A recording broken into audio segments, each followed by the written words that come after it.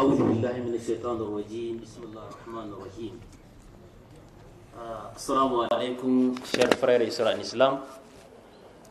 En attendant l'arrivée du conférencier Abul Majid, je m'en vais vous donner un peu l'avant-goût de la conférence qu'il va amener plaise à Dieu.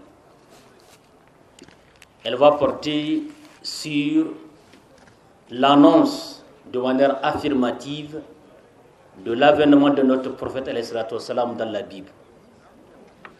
Et certains théologiens, dont notre regretté Cheikh Hamididat, a écrit beaucoup de livres là-dessus, mais sous forme d'interrogation.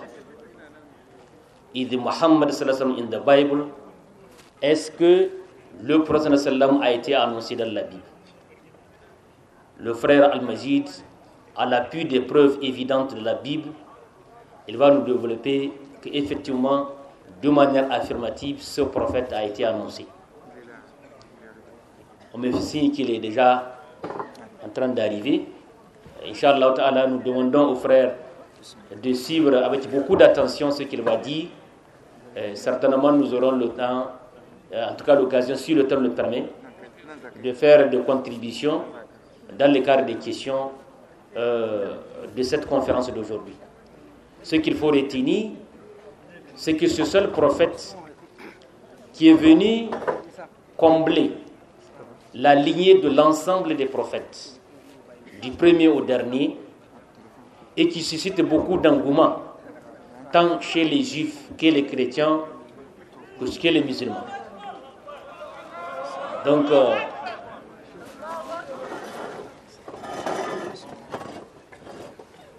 on arrive. الحمد لله رب العالمين والصلاة والسلام على أشرف الأنبياء والمرسلين سيدنا محمد وعلى آله وصحبه ومن تبعهم بإحسان إلى الدين وبعد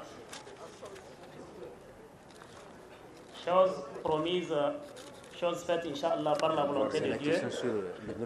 Nous avons prévu aujourd'hui une conférence sur le thème Vous dites chapitre 2, verset 1 à 7. Oui, Mohamed est bien dans la Bible. Le frère Abnajid est là avec nous, donc euh, pour animer ce thème-là. Nous aurons une heure, une heure et demie ensemble. Nous prendrons des questions à la fin, Inch'Allah. Sans plus tarder, je vais lui passer la parole pour commencer la conférence. Assalamu alaikum wa rahmatullahi wa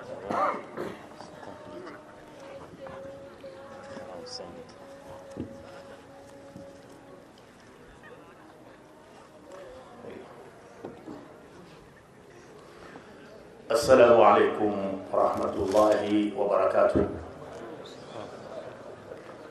الحمد لله الذي أرسل رسوله بالهدى ودين الحق ليظهره على دين كله ولو كره الكافرون. والصلاة والسلام على خاتم الأنبياء الذي جاء على فترة من الرسل لأن لا يكون للناس على الله حجة بعده وعلى آله وأصحابه وعلى جميع الأنبياء والمرسلين وبعد. ربي اشرح لي صدري ويسر لي أمري واحلل عقدة من لساني يفقه قولي. سبحانك لا علم لنا إلا ما علمتنا إنك أنت العليم الحكيم. Chers frères et sœurs en islam, et chers frères et sœurs non musulmans en Adam s'ils sont parmi nous, je voudrais d'abord remercier, après avoir remercié Allah qui a envoyé son messager Mohammed avec la religion de vérité pour la faire triompher sur toute religion inventée par l'esprit de l'homme païen en déplaise aux mécréants. J'implore Dieu pour qu'il verse sa grâce, sa miséricorde et ses bénédictions sur le dernier des messagers, Mohammed, Le dernier des messagers qui est venu après une longue période, plusieurs siècles, passés sans l'apparition d'aucun prophète dans aucune nation du monde. Mohammed est venu pour qu'après son passage, les humains ne trouvent point d'argument échappatoire devant Dieu le jour du jugement dernier. Que la paix de Dieu soit également sur les membres de sa famille, sur ses fidèles compagnons, ainsi que sur tout prophète véritablement envoyé par Dieu dans le but de tirer les êtres humains des ténèbres spirituelles vers la lumière parfaite. Et je voudrais ici remercier notre frère Alarama qui a, n'est-ce pas, remis le déroulement de cette conférence entre les mains de Dieu à travers sa lecture du Saint-Coran. Et que Dieu mette cela dans la balance de ses bonnes actions. Le jour, il n'y aura d'ombre que la sienne. Et que Dieu affermisse nos pas dans sa voie jusqu'à notre dernier bâtiment. Chers frères et sœurs, hier nous étions en train de dire, ou nous vous avions promis, n'est-ce pas, nous vous avons fait la promesse de démontrer ce soir, sur base des passages bibliques ou des prophéties bibliques, la véracité du prophète Mohammed sallallahu. C'est-à-dire démontrer sur base des prophéties bibliques que l'avènement de Mohammed, la paix de Dieu soit sur lui, avait bel et bien été annoncé par les prophètes qui l'ont précédé, et notamment les prophètes qu'on trouve dans la Bible judéo-chrétienne. Et le thème donc de ce soir s'intitule Oui, Mohammed est dans la Bible. Nous sommes habitués souvent à formuler ce thème d'une manière interrogative. Mohammed est-il dans la Bible? Mais aujourd'hui, nous, la, nous le formulons d'une autre manière, affirmative, en disant oui, Mohammed est dans la Bible. Et nous espérons avec l'aide de Dieu, Inch'Allah, que le débat sera clos ce soir, Inch'Allah. C'est vrai que le thème Oui, Mohammed est dans la Bible apparaît surprenant pour les chrétiens qui sont habitués d'entendre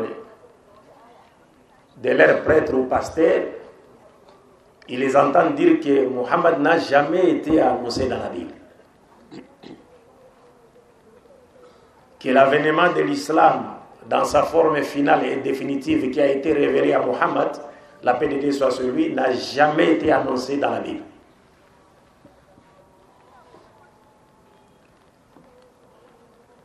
Donc, les chrétiens, c'est normal qu'aujourd'hui, l'ensemble des chrétiens ne croient pas que Mohammed ait été annoncé dans la Bible. Ils ne croient pas en cela. Et laissez-moi leur dire qu'ils ont raison. Mais ils ont aussi tort.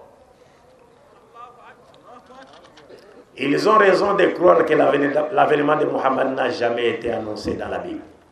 Ils ont raison, mais ils ont aussi tort. Pourquoi ont-ils raison? Ils ont raison parce qu'après avoir lu la Bible, de Genèse à l'Apocalypse, ils n'ont trouvé aucun verset où Mohammed est nommément cité. Du moins dans nos traductions actuelles de la Bible. Ils n'ont trouvé aucun verset.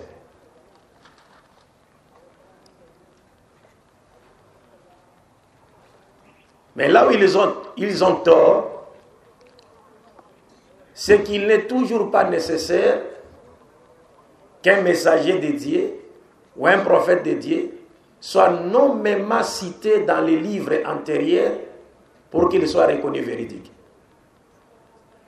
Il peut ne pas être cité disons nommément, et cela ne remettra pas en cause sa véracité en tant que prophète de Dieu. Et la preuve de ce que j'ai dit, c'est quoi? C'est qu'aujourd'hui, les chrétiens nous disent que l'Ancien Testament juif contient des centaines de prophéties annonçant l'avènement de Jésus-Christ et la paix de Dieu soit sur lui. Cependant, aucun chrétien ne pourra nous montrer aujourd'hui une seule prophétie de parmi les centaines qu'ils attribuent à Jésus-Christ, et parfois même injustement, dans l'Ancien Testament, où le nom de Jésus-Christ, où Jésus-Christ a été nommément cité. Ça n'existe pas. C'est-à-dire qu'il n'y a pas une seule prophétie de l'Ancien Testament dans laquelle Jésus-Christ est nommément cité. Jésus-Christ ou encore en hébreu Yeshua Hamashiach. Ça n'existe nulle part. Alors si Jésus n'a jamais été nommément cité dans l'Ancien Testament, qui leur donne le pouvoir, de, le droit de dire que telle prophétie, telle prophétie, telle prophétie dans l'Ancien Testament parle de Jésus Lorsqu'on sait que son nom n'est pas, il n'est pas nommément cité dans ces prophéties-là. Est-ce que vous comprenez? Donc il est facile de voir la paille qui est dans l'œil de ton ami, mais pourtant vous ne voyez pas la poutre qui est dans votre œil, dans ton œil. Est-ce que vous comprenez?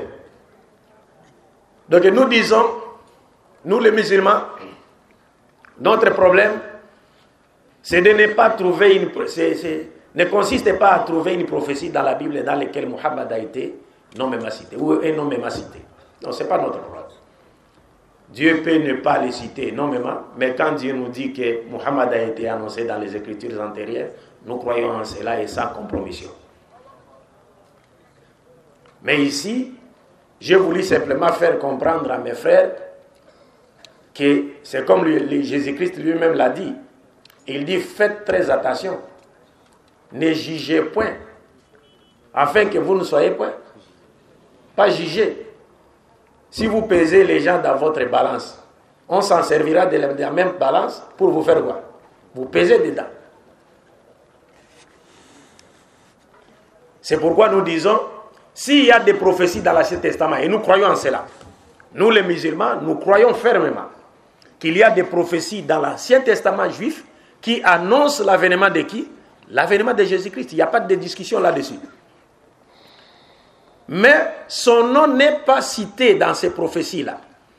Il n'y a pas une seule prophétie de l'Ancien Testament dans laquelle Jésus-Christ est nommément cité. Ça n'existe pas. Mais pourquoi les chrétiens attribuent ces prophéties-là à Jésus-Christ?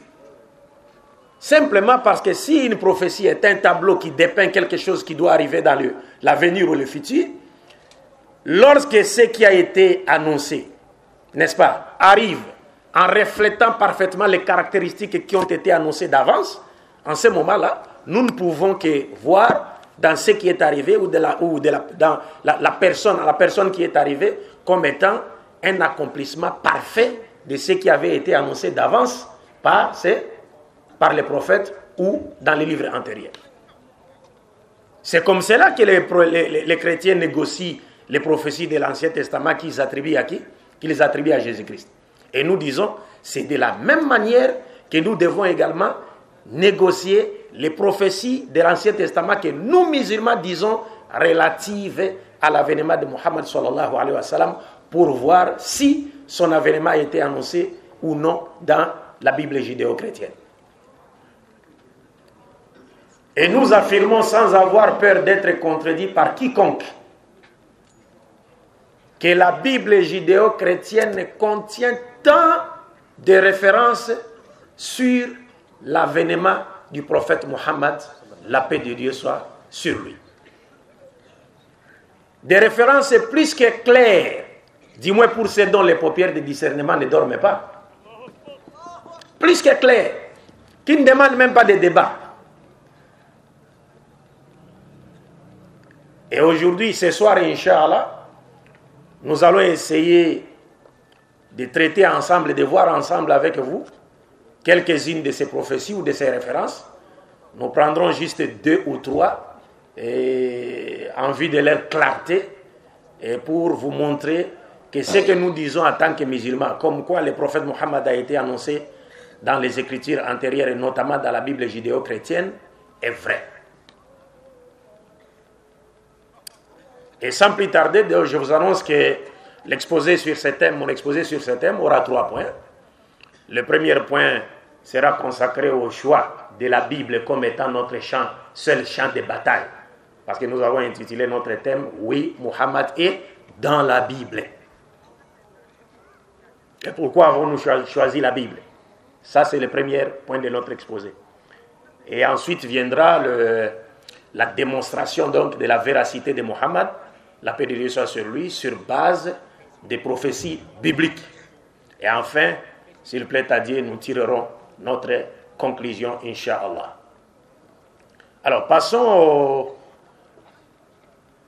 au, premier point de notre exposé. Et ici, avant, avant cela, je, je vous rappelle qu'il y a mon frère Mustafa qui est à côté, Inch'Allah, qui, à qui je demanderai, n'est-ce pas, de, lire, de nous lire deux des prophéties tirées du livre du prophète Daniel et qui nous montrent clairement que l'avènement du prophète Mohammed, la paix de Dieu soit sur lui, a été annoncé, n'est-ce pas, dans la Bible judéo-chrétienne. Mais avant cela, je commence par le premier point, donc relatif au choix de la Bible comme étant notre seul champ de bataille, devant nous permettre, n'est-ce pas, de justifier la justesse de notre position selon laquelle l'avènement de Mohammed a bel et bien été annoncé dans la Bible judéo-chrétienne. Pourquoi avons-nous choisi la Bible? Nous avons choisi, si nous avons choisi la Bible, parce que nous savons tous que chrétiens, juifs, chrétiens et musulmans se retrouvent à la personne d'Abraham, le père des croyants, le père des prophètes. Nous savons aujourd'hui, nous les musulmans, que Dieu avait suscité des prophètes dans chaque nation du monde. Cela est vrai. Nous le savons tous. Mais ça, les, les juifs et les chrétiens l'ignorent. Mais aujourd'hui, il y a quelques savants juifs qui reconnaissent cela. Parce qu'il y a des prophètes qui sont cités dans la Bible qui ne sont pas des Israélites. Et cela confirme ce que dit le Coran, comme quoi Dieu a suscité des prophètes dans chaque nation du monde. Pas une seule nation n'est restée comme, cela sans avoir été visitée par un prophète. C'est ce que dit le Coran. Et aujourd'hui, il y a des savants juifs qui reconnaissent cela. Mais quant aux chrétiens, pour eux, ils disent euh, que Dieu n'a envoyé des prophètes qu'aux enfants d'Israël et qu'il aurait laissé d'autres nations dans, dans l'égarement. Pourtant, tous, nous avions été créés dans le noble but d'adorer Dieu sans l'associer avec qui ou quoi que ce soit. Est-ce que vous comprenez? Donc nous nous retrouvons, du moins nous nous retrouvons tous en la personne d'Abraham. Nous croyons tous en Abraham comme étant l'ami de Dieu, le père de la foi, le père des prophètes. Bien que certains d'entre nous parfois se permettent de dire, de raconter n'importe quoi sur la personne d'Abraham. Et Inch'Allah, si Dieu le veut, euh, dans la conférence, la, la, la, conférence que nous allons donner, que nous donnerons demain euh, à l'université, Inch'Allah, nous reviendrons sur ce point-là. Parce que le nom d'Abraham a été cité dans la formulation de notre thème, qui est donc euh, le message divin à travers Abraham, Moïse, Jésus, Mohammed, convergence ou divergence. Il y a des gens qui racontent n'importe quoi sur la personne d'Abraham. Ils racontent n'importe quoi sur la personne d'Ismaël, qui est le fils d'Abraham, le fils aîné d'Abraham. Ils racontent n'importe quoi sur Agar. La paix de Dieu soit sur eux.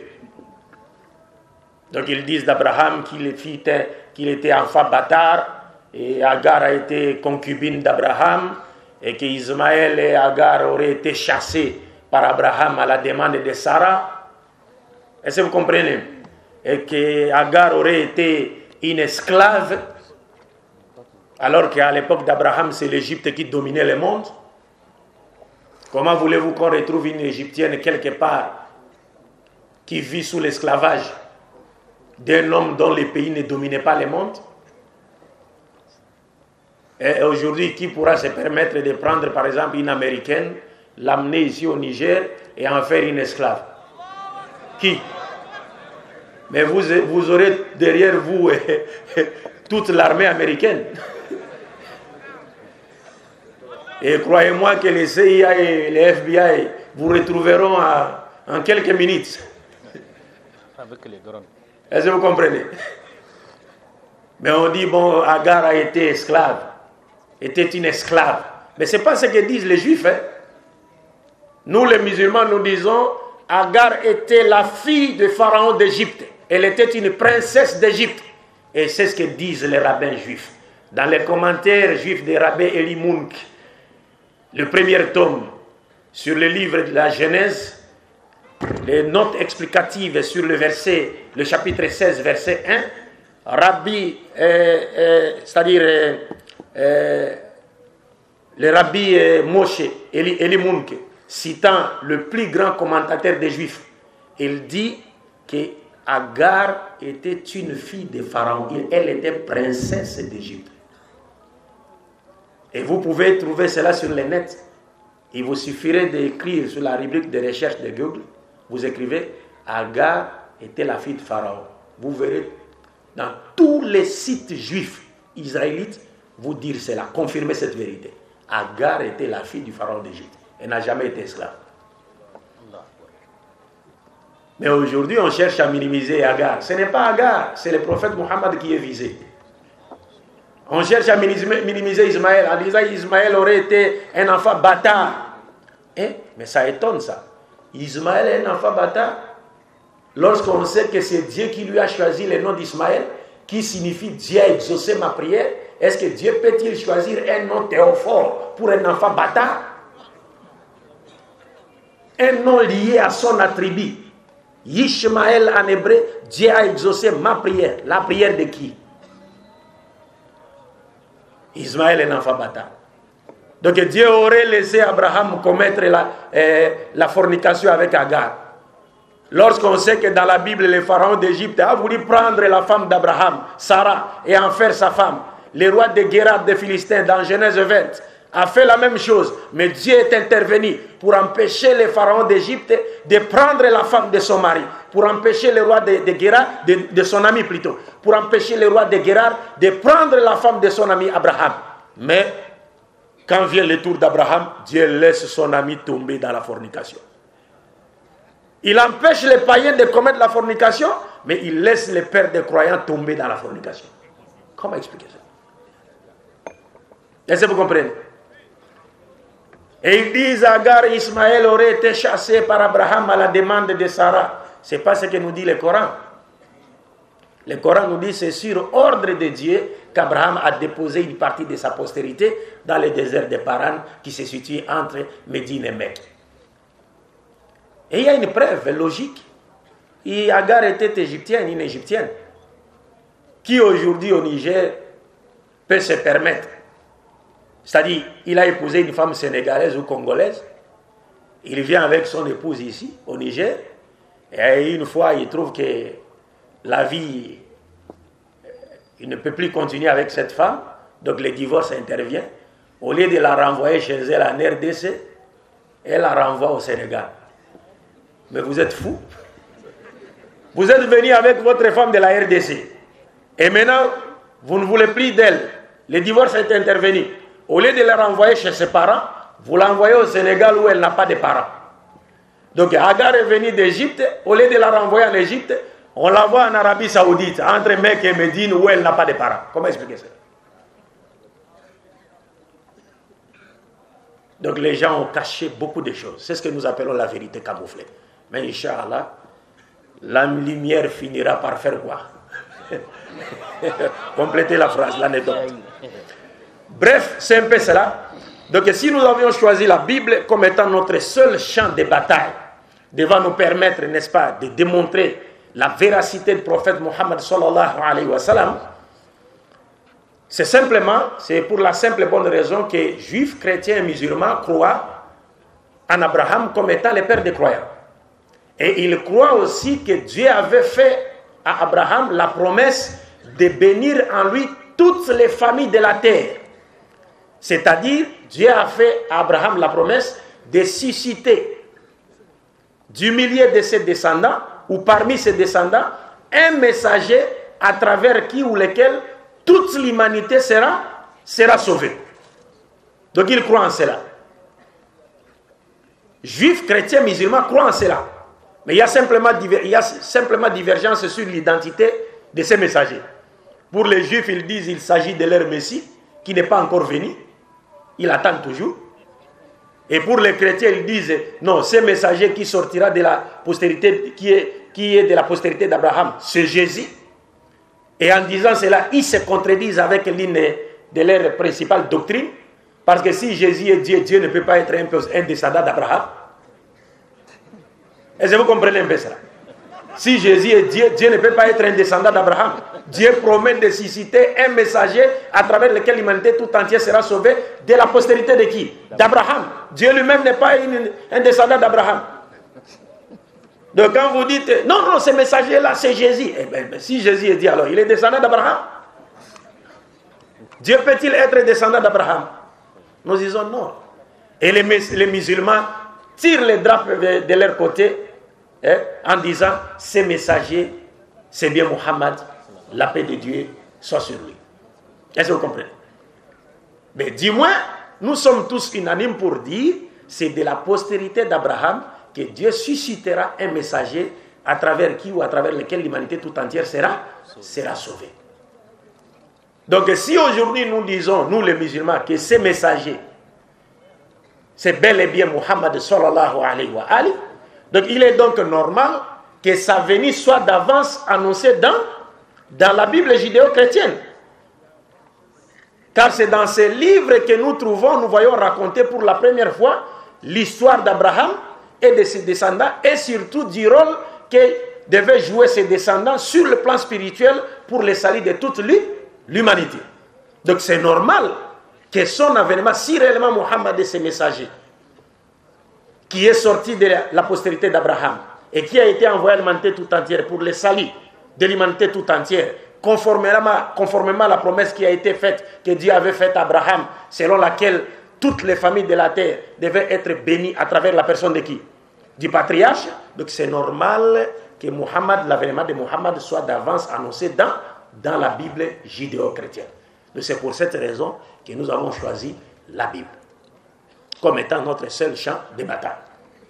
Et maintenant passons au second point de notre exposé, qui sera consacré à l'analyse de certaines prophéties bibliques, n'est-ce pas, qui prouvent n'est-ce pas, la véracité de Mohammed sallallahu alayhi wa sallam en tant que messager de Dieu envoyé à toute l'humanité. Et ici, je voudrais demander à mon frère Mustafa de nous lire deux prophéties. Et puis, par après, nous allons essayer de les résumer à l'extrême et passer à l'explication. Et moi, personnellement, je pense que les esprits rationnels ou rationalistes seront satisfaits en écoutant ces deux prophéties. Pourquoi? Simplement parce que si j'ai choisi ces deux prophéties, parce que ces deux prophéties, lorsqu'on aborde ces deux prophéties, il n'y aura pas de, de débat inutile. Quoi. Parce que ce n'est pas nous qui. Ce n'est pas à nous qu'il appartient d'expliquer ces prophéties, ces deux prophéties. Parce que ces deux prophéties ont été expliquées. D'abord, dans un premier temps, par Daniel lui-même, par l'ange Gabriel, et aussi par, les données historiques. C'est-à-dire, ce sont des prophéties dont le symbolisme trouve leur parfait accomplissement dans l'histoire que nous connaissons tous. Donc il n'y a, pas question de dire non, il faut avoir l'Esprit Saint pour les comprendre. Non, non, non, non.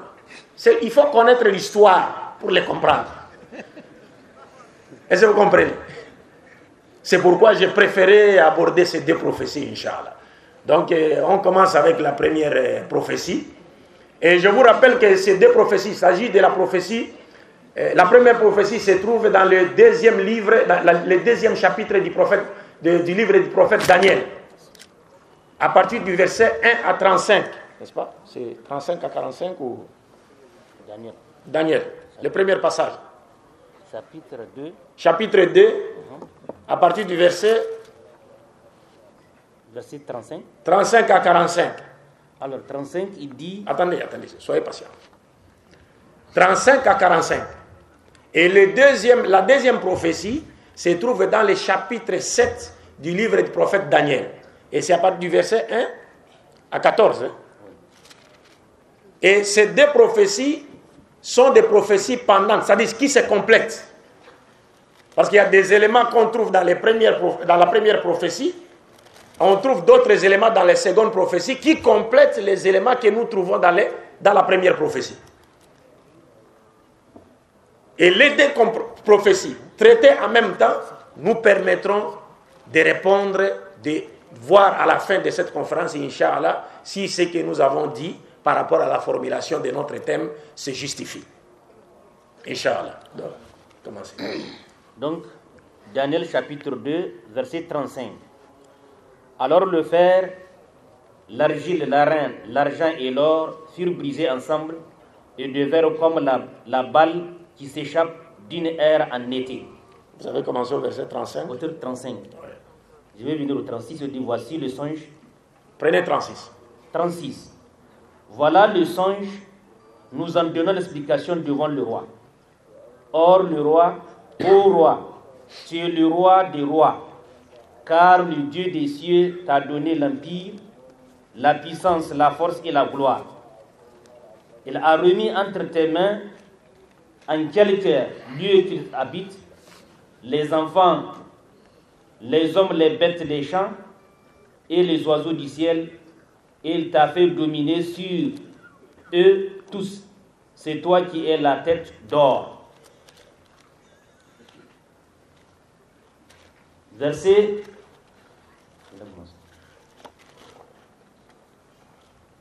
Verset 39. Après toi, il se lèvera un autre royaume, moindre que le tien, puis un troisième royaume qui sera d'airain et qui dominera sur toute la terre. Verset 40. Il y aura un quatrième royaume fort comme du fer, de même que le fer brise et rompt tout. Il brisera et rompera tout, comme le fer qui met tout en pièces. Verset 41. Et comme tu as vu les pieds et les orteils en partie d'argile de Poitiers et en partie de fer, ce royaume sera divisé. Mais il y aura en lui quelque chose de la force de fer, parce que tu as vu le fer mêlé avec l'argile. 42. Et comme les doigts des pieds étaient en partie de fer et en partie d'argile, ce royaume sera en partie fort et en partie fragile. En partie fragile. 43. Tu as vu le fer mêlé avec l'argile parce qu'ils se mêlent, se mêleront par des alliances humaines, mais ils ne seront point unis l'un à l'autre, de même que le fer ne s'allie point avec l'argile. 44. Dans le temps de ce roi, le Dieu des cieux suscitera un royaume qui ne sera jamais détruit et qui ne passera point sous la domination d'un autre peuple. Il brisera et détruira tous ces royaumes-là, et lui-même subsistera éternellement. 45, enfin, c'est ce qu'indique la pierre que tu as vue se détacher de la montagne sans le secours d'aucune main et qui a brisé le fer, l'arène, l'argile, l'argent et l'or. Le grand Dieu a fait connaître au roi ce, qui doit arriver après cela. Le songe est véritable et son explication est certaine. Merci beaucoup. Avant de passer à la lecture de la seconde prophétie, j'aimerais ici résumer à l'extrême ce que vient de nous lire notre frère Mustafa pour une euh, meilleure compréhension de la prophétie. Je sais que la plupart des musulmans ne sont pas habitués à ces langages-là, les langages prophétiques. Mais que cela ne vous étonne pas, ça existe même en islam. Rappelez-vous que lorsque le, quand le prophète Mohammed, la paix de Dieu soit sur lui, a fait le mirage, il a vu une femme au ciel, une jolie, belle femme, parée de diamants, de pierres précieuses, or, diamants, ainsi de suite. Et cette femme invitait le prophète à aller vers elle. Le prophète n'a pas répondu à son appel.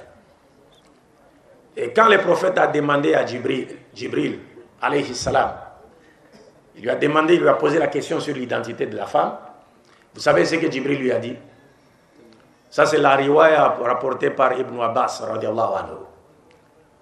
Jibril lui a dit ce n'est pas une femme. C'est le monde et ses tentations. Le prophète a vu une femme. C'était une femme. Mais Djibril lui dit, ce n'est pas une femme. C'est le symbolisme du monde et de ses tentations. Si tu avais répondu à son appel, toute ta communauté se serait égarée du droit chemin. Donc si Djibril n'a pas donné l'explication de ce symbolisme-là, de ce que représentait la femme symboliquement, peut-être certains interprètes musulmans ou commentateurs mystiques ou soufis ou qui allaient se permettre de dire Ah, en tout cas, nous pensons que ça, ça en tout cas, cette dame-là fera partie des épouses du prophète au paradis. Est-ce que vous comprenez?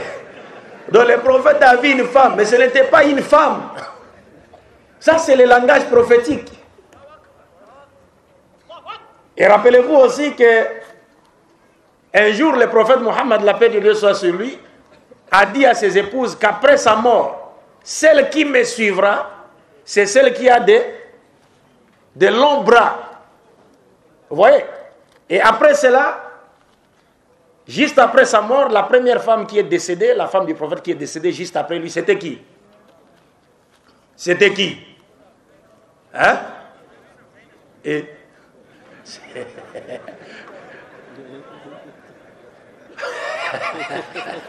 non, non, non, non, je dois m'arrêter ici.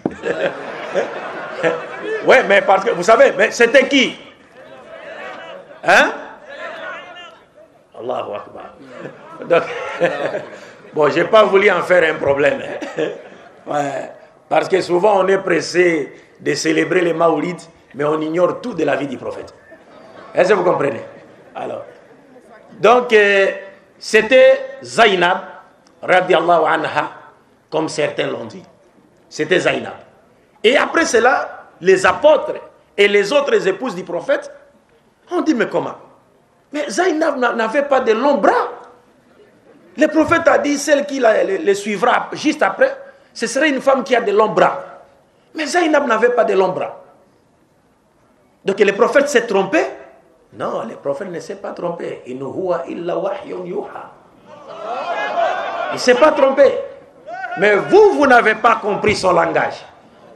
Le prophète vous parle de longs bras, mais il ne s'agissait pas de ses bras physiques. Finalement, les disciples ont compris que ah, Zainab était bienveillante. Elle donnait beaucoup aux pauvres. Donc le prophète, en parlant de longs bras, il faisait allusion à quoi? À sa bienfaisance. Ce n'était pas des bras physiques. Omal Masakin. Omal Masakin. Donc c'est un peu cela. C'est le langage, la terminologie des prophètes. Il faut s'habituer à cela. Parce que dans l'écriture, les écritures saintes, il y a plusieurs formes de langage. Il y a le langage figuré, métaphorique, poétique, parabolique, plusieurs sortes. Et nous sommes en face, aujourd'hui, lorsqu'on aborde ces prophéties, nous sommes en face de ces genres de langage. On vous parle d'une statue. On nous dit que le roi Nabucodonosor, le roi de l'empire néo-babylonien, un des descendants de Namurud, il a, il a eu un songe. Et dans son songe, il a vu une statue qui avait une forme humaine, la forme d'un homme. Et cette statue était constituée de quatre différents métaux. La tête de la statue était d'or, la poitrine et les bras étaient d'argent, le ventre et les cuisses étaient d'airain ou cuivre, les jambes étaient de fer, les pieds étaient en partie de fer et en partie d'argile. Pendant qu'il regardait la statue, le roi Nabucodonosor a vu une pierre se détacher sans l'aide d'aucune main et venir frapper les pieds de la statue. Et la pierre réduisit complètement la statue en poussière. Quant à la pierre qui a frappé les pieds de la statue, elle commença à grandir jusqu'à devenir une grande montagne qui couvrit toute la terre. Mais quand Nabucodonosor se réveilla le matin, il oublia aussitôt son, son songe. Et c'est Dieu qui l'a voulu. Parce qu'il était entouré de marabouts, de féticheurs. De... Bon, marabouts ici en Ouest-Afrique, c'est pourquoi vous m'avez suivi une fois, j'ai dit au, euh, à l'émission Kratos que souvent les gens confondent l'islam avec le West-Africanisme. Donc, dans notre contexte en RDC, lorsqu'on parle des marabouts, ce sont des gens qui prétendent se communiquer avec des esprits les djinns, ils travaillent les djinns, ainsi de suite. Alors que dans les contextes ouest-africains, lorsqu'on parle du, marabout, c'est quelqu'un qui est connaisseur de la religion, qui a appris le Coran, maîtrise les sciences islamiques, les sciences des hadiths, ainsi de suite. Est-ce que vous comprenez? Donc les, mots changent de sens selon les, les contextes. Chez nous, ce n'est pas comme ça. Donc, donc ici, je, pour être euh, bien compris, je, je préfère utiliser alors les termes que vous connaissez vous. Donc il était entouré de magiciens, de charlatans, de sorciers qui prétendaient connaître l'avenir. quoi. Alors Dieu voulait lui faire comprendre que ces gens-là qui sont à tes côtés, là, ils ne connaissent rien de l'avenir. C'est Dieu seul qui détient la connaissance de, de l'avenir. Donc il lui a fait oublier son songe. Et le matin, lui, il était tellement perturbé par ses songes il, voulait assez qu'on lui rappelle, qu'on lui rappelle les songes et lui en donne l'explication. Donc il a fait venir tous les magiciens tout l'empire néo-babylonien. Ils se sont présentés chez lui. Et vous savez, certains farceurs, parfois, ils vous demandent, mais qu'avez-vous vu hein? Vous avez vu quoi? C'est-à-dire, à partir de vos explications, ils peuvent facilement vous avoir dans les mailles de leur filet. Quoi. Mais là, ce n'est plus le cas. On demande au roi, mais roi, qu'est-ce que vous avez Mais j'ai oublié. Rappelez-moi mon, songe. commencez par me rappeler les songes, me rappeler les songes, et, avant de, et après, donnez-moi l'explication du songe. Et voilà que c'était terrible. Et les magiciens, les sorciers ont dit au roi Nabucodonosor, mais roi, ce que vous demandez là, aucun de vos, prédécesseurs ne l'a demandé aux magiciens. A dit, ah bon, donc vous ne connaissez pas l'avenir, vous ne connaissez pas les mystères. Donc il décrète à ce que tous ces magiciens et sorciers soient mis à mort. Les rois Nabucodonosor. Et comme le prophète Daniel et ses trois amis, ses frères israélites, qui étaient amenés en captivité à Babylone, parce que c'est le, roi Nabucodonosor ou l'empire babylonien qui avait détruit le royaume d'Israël à l'époque. Donc ils ont été retenus parmi les jeunes gens israélites qui étaient en captivité à Babylone pour travailler dans le palais royal où vivait Nabucodonosor. Donc ils étaient concernés par cette décision du roi Nabucodonosor. Alors, quand Daniel, le prophète Daniel a su cela, il est parti voir euh, son intendant. Il lui a demandé de, dire au roi d'attendre un peu, que lui pouvait demander à son Dieu pour qu'il lui rappelle quoi? Les songes que le roi a eu, le rêve qu'il a eu, et puis qu'il lui en donne aussi l'explication. Donc c'est un peu cela, résumé à l'extrême, c'est que le roi Nabucodonosor avait vu, mais vous voyez la statue, mais ce n'est pas une statue. Ça symbolise beaucoup de choses. Parce que dans l'explication qui a été donnée par le prophète Daniel, la partie qui nous a été lue par notre frère Mustapha, qu'est-ce que Daniel a dit? Après que Dieu lui ait révélé les songes qu'a vu qui Qu'a eu le roi. Le, prophète Daniel s'est présenté devant le roi Nabucodonosor, il était encore jeune, trop jeune. Et le roi ne pensait pas à ce qu'un jeune, n'est-ce pas, comme le prophète Daniel, soit capable de lui rappeler quoi? Les songes qu'il a eu et puis lui en donner l'explication. Alors le prophète Daniel lui dit, oh roi, tu es le roi des rois. C'est Dieu qui a fait de toi le roi des rois. C'est-à-dire, tu es... Quand on dit roi des rois ici, c'est que lui, il domine. C'est comme aujourd'hui, le président américain, on peut dire, on peut dire de lui qu'il est le président des, des présidents parce que c'est l'Amérique qui fait quoi? Qui domine le monde. N'est-ce pas? Donc les rois des rois, c'est pourquoi aussi des fois chez les chrétiens, il y a des passages où Jésus est appelé le roi des rois. Alors quand on appelle Jésus le roi des rois, ils disent, ah non, comme Dieu a été appelé le roi des rois, ça et Jésus roi des rois, ça veut, ça veut dire Jésus aussi est Dieu. Mais non, il y a Nabucodonosor qui est appelé roi des rois, Artaxerxès qui est appelé dans la Bible roi des rois, Cyrus est appelé roi des rois, Jésus est appelé roi des rois, Dieu est appelé roi des rois. C'est la même expression, mais avec trois sens différents par rapport aux entités qui les portent.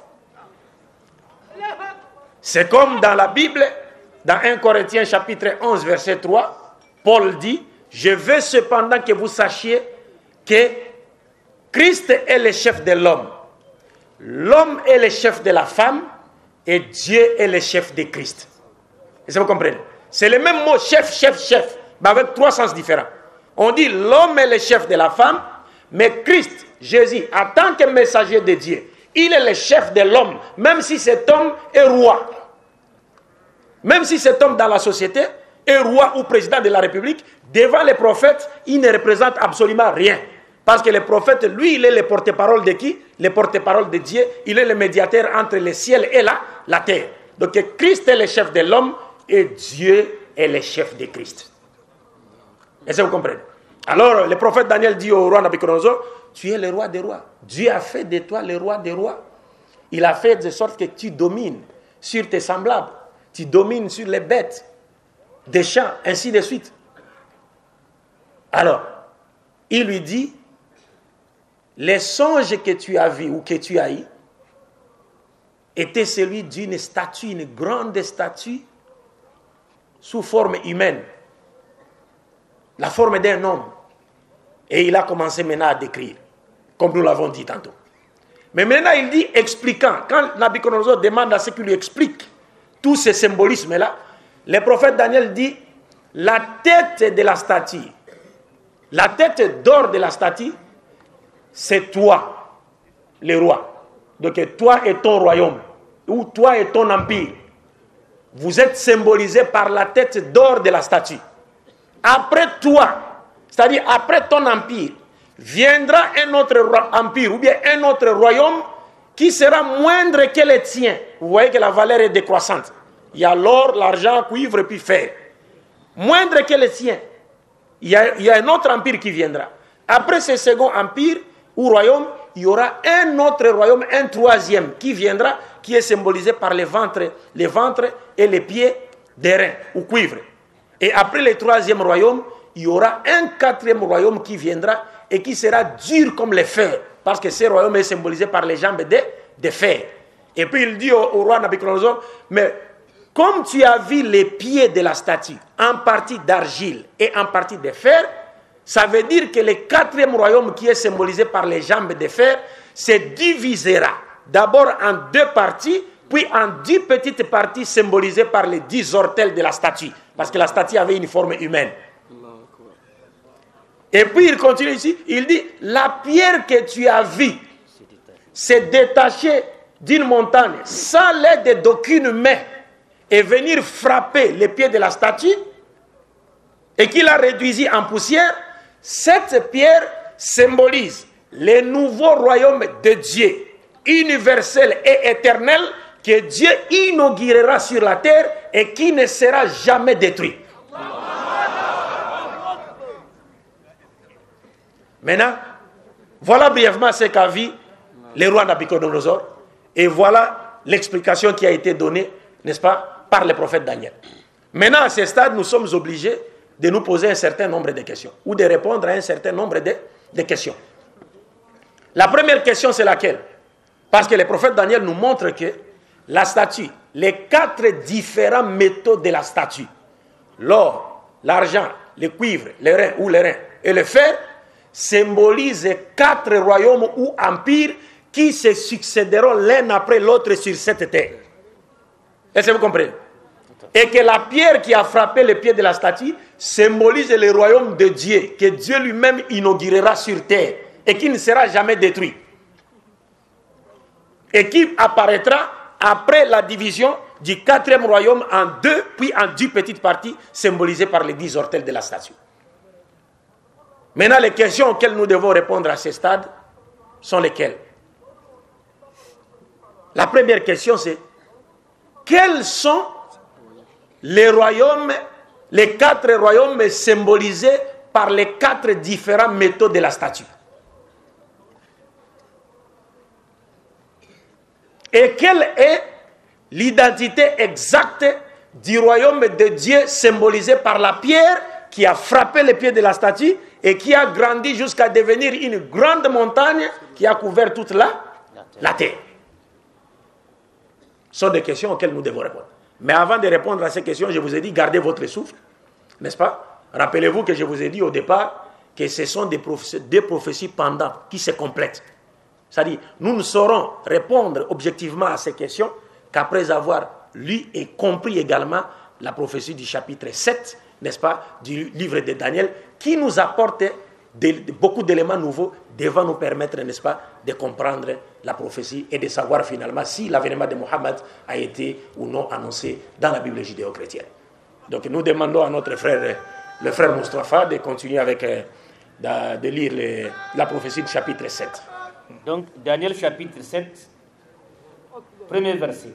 La première année de Belshazzar, roi de Babylone, Daniel eut un songe et les visions se présentèrent à son esprit pendant qu'il était sur sa couche.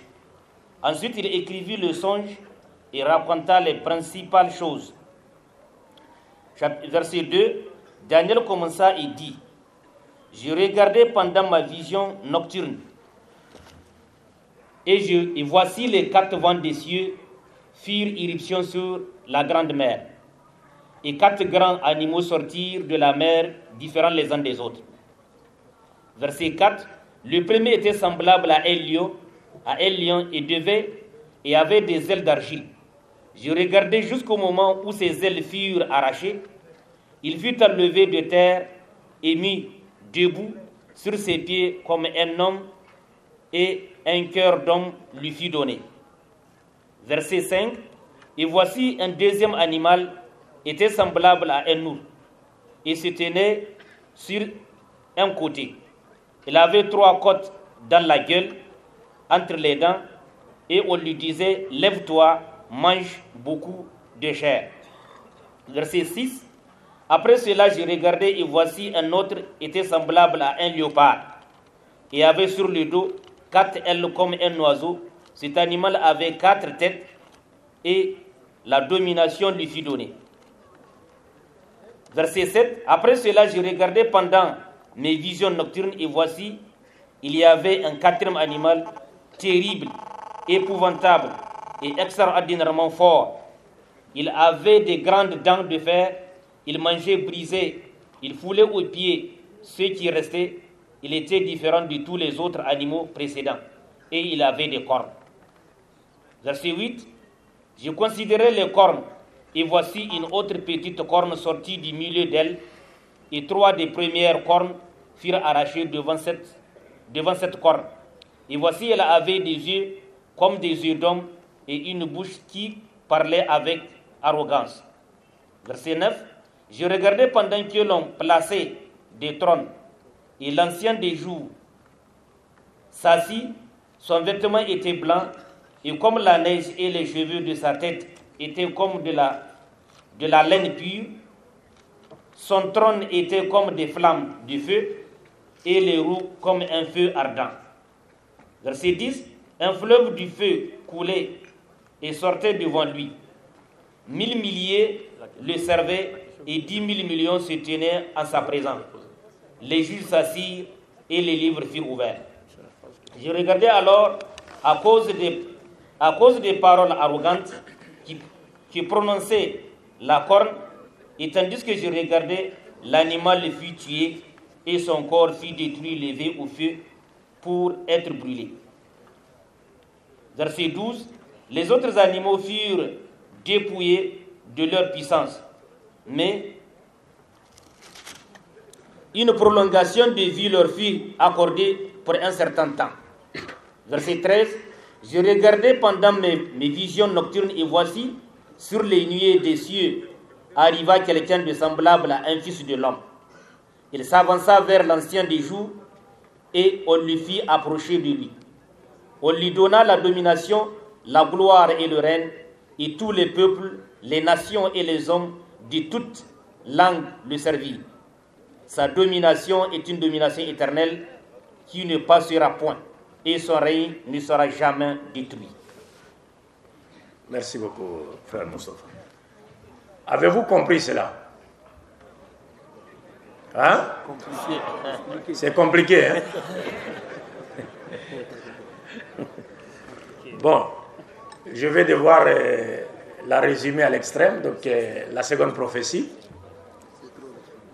Donc, dans le chapitre 7 du livre de Daniel, ou dans la seconde prophétie, qui nous intéresse ici et qui est le pendant, n'est-ce pas, de la première prophétie, n'est-ce pas?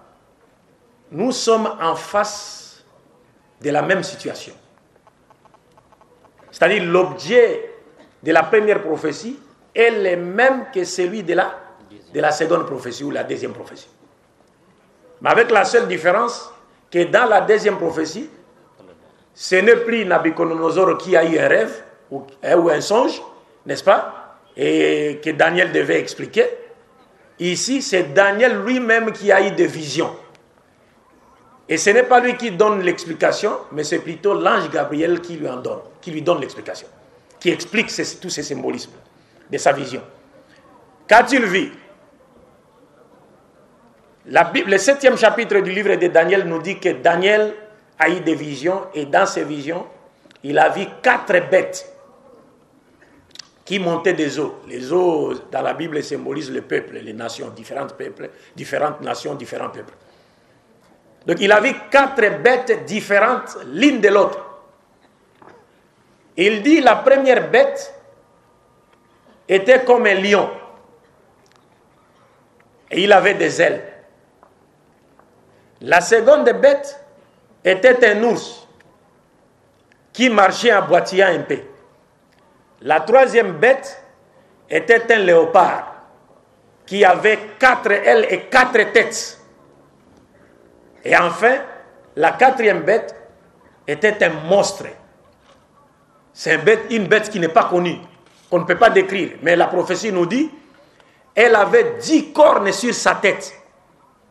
Elle avait des dents de fer. Et elle broyait tout sur son chemin. Et Daniel dit, pendant qu'il considérait les dix cornes de la quatrième bête, il a vu une autre petite corne munie des yeux d'homme et avec une bouche sortir du milieu des dix cornes.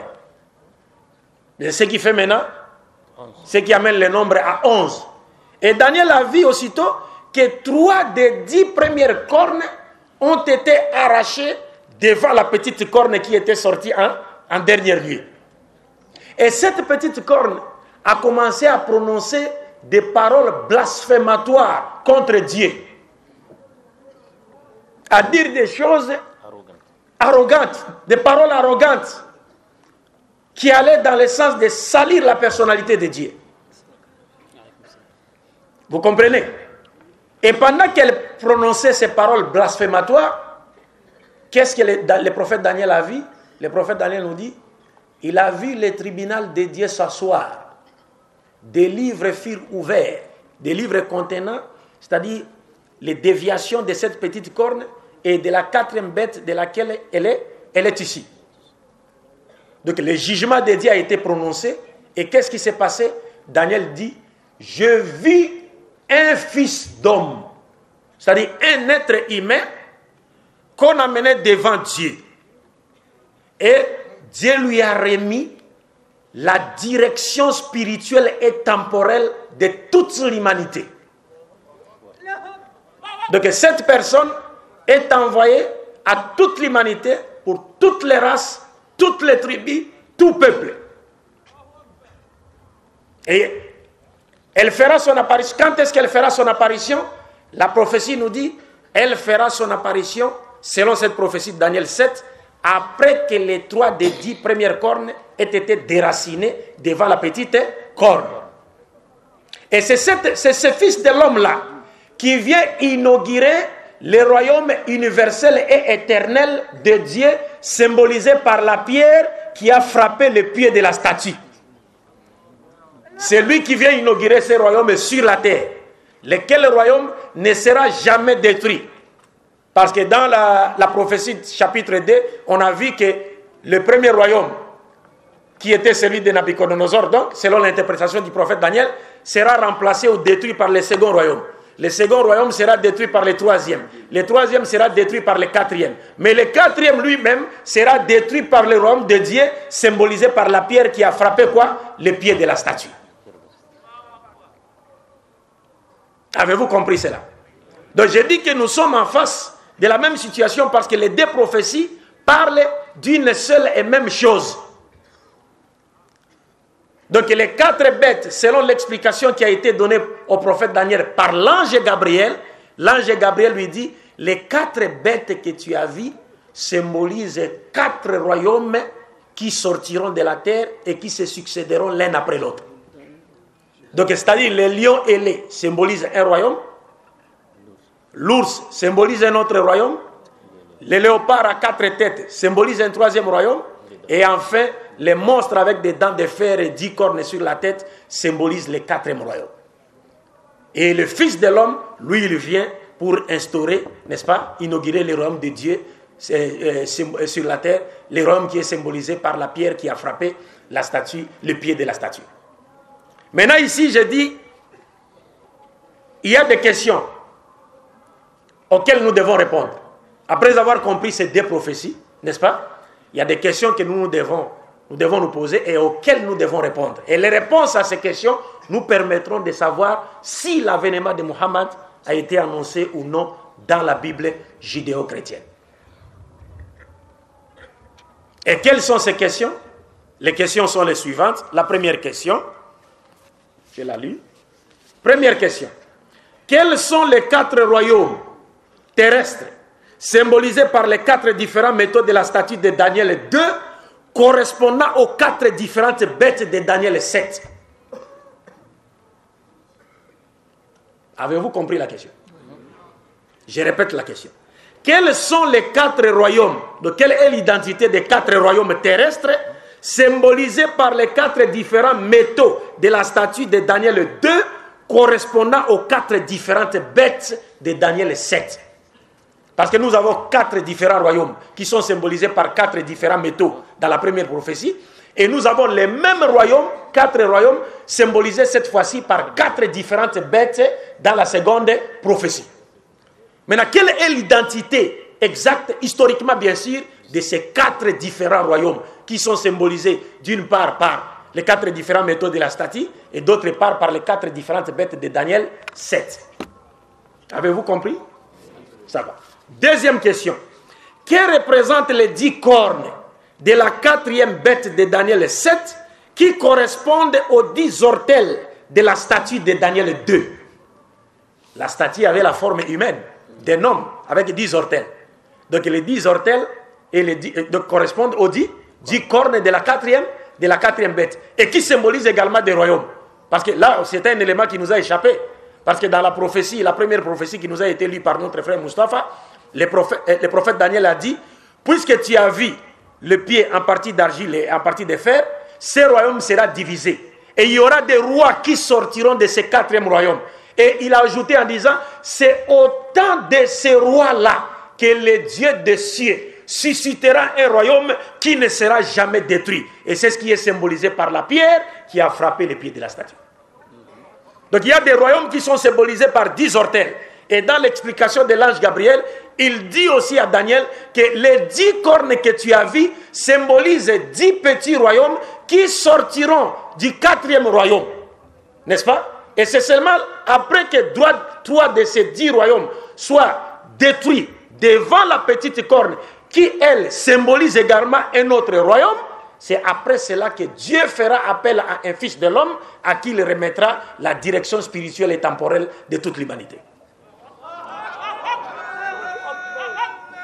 Maintenant, quel est le sens? Troisième question. Que représentent les trois des dix cornes arrachées de devant la petite corne de Daniel 7 et que symbolise cette dernière? La petite corne symbolise quoi? Parce qu'on vous dit aussi c'est un royaume. Mais c'est quel royaume historiquement? Quatrième, quelle est l'identité exacte du royaume éternel et universel de Dieu symbolisé par la pierre qui a frappé les pieds de la statue dans Daniel 2 et que le Fils de l'homme de Daniel 7 aura la charge d'inaugurer ou d'implanter sur la terre? Et enfin, cinquième question, quelle est l'identité exacte de ce Fils de l'homme à qui Dieu confiera le gouvernement spirituel et temporel de tout le peuple de la terre Qui est-il? Et rappelez-vous que je vous ai dit que les esprits rationalistes seront satisfaits. Parce que nous, on a dit ici que ce n'est pas à nous qu'il appartient d'expliquer ces prophéties. C'est plutôt au prophète Daniel, à l'ange Gabriel et aussi à l'histoire. Mais nous avons déjà écouté l'explication du prophète Daniel. Il nous montre que les quatre différents métaux symbolisent quatre rois, royaumes qui se succéderont l'un après l'autre, en commençant par celui de Nabucodonosor, le roi de Babylone. Donc il nous donne déjà l'indication. Le début de l'accomplissement de la prophétie. Il nous indique le temps de qui? De Nabucodonosor, roi de l'empire néo-babylonien. Et l'ange Gabriel vient également compléter cela en donnant son explication. Il nous montre que les quatre différentes bêtes qui symbolisent quatre différents royaumes qui se succéderont l'un après l'autre sur cette terre, n'est-ce pas sont des royaumes qui vont exister sur la terre et qui correspondent aux, aux quatre royaumes qui ont été annoncés dans la prophétie de Daniel 2. Tous nous parlent des royaumes qui vont exister sur cette terre. Maintenant, il nous appartient à nous maintenant de regarder, jeter un coup d'œil dans l'histoire pour voir, chercher à connaître les royaumes qui sont venus, qui se sont succédés après les royaumes de, de Nabucodonosor, parce qu'une indication nous a été donnée par le prophète Daniel pour nous montrer par où nous devons commencer par expliquer les deux prophéties en question. Maintenant, nous avons tous compris que le prophète Daniel parlant de la tête d'or, il a dit au roi Nabucodonosor, c'est toi qui symbolise, qui est représenté par la tête d'or. Donc la tête d'or symbolisait l'empire, le, roi Nabucodonosor et l'empire néo-babylonien sur lequel il régnait. Mais le prophète Daniel a ajouté en disant, et remarquez, vous verrez que dans la seconde prophétie, la première bête était quoi? C'était un lion, ailé. Et regardez dans la mythologie babylonienne, vous verrez que l'empire babylonien a toujours été représenté par un lion avec des ailes. Vous n'avez pas vu cela? Ça, ça existe. En Babylone, c'est comme ça. L'empire babylonien était toujours représenté, n'est-ce pas, par un lion ailé. Et donc Daniel nous dit, après Nabucodonosor, il y aura un, autre royaume, moindre que son royaume. Maintenant, il faut qu'on se euh, rafraîchisse un peu la mémoire. Daniel nous dit, après le royaume néo-babylonien, il y aura un autre royaume. C'est-à-dire, il y aura quatre royaumes qui vont se succéder l'un après l'autre avant l'établissement du royaume de Dieu, symbolisé par la pierre qui a frappé quoi? Les pieds de la statue. Il y aura d'abord quatre royaumes qui vont se succéder. Et après viendra le royaume de Dieu symbolisé par la pierre. Et ce royaume verra jour à l'époque du quatrième royaume. Parce que Daniel a dit, dans les temps de ce roi-là, du quatrième royaume, le Dieu des cieux suscitera un royaume qui ne sera jamais détruit. Maintenant, quel est le royaume qui a succédé à celui de Nabucodonosor dans l'histoire? Hein? On a des étudiants ici, nous. Des historiens les historiens même. Hein? Pharaon. Allez revoir tes cours. Cours.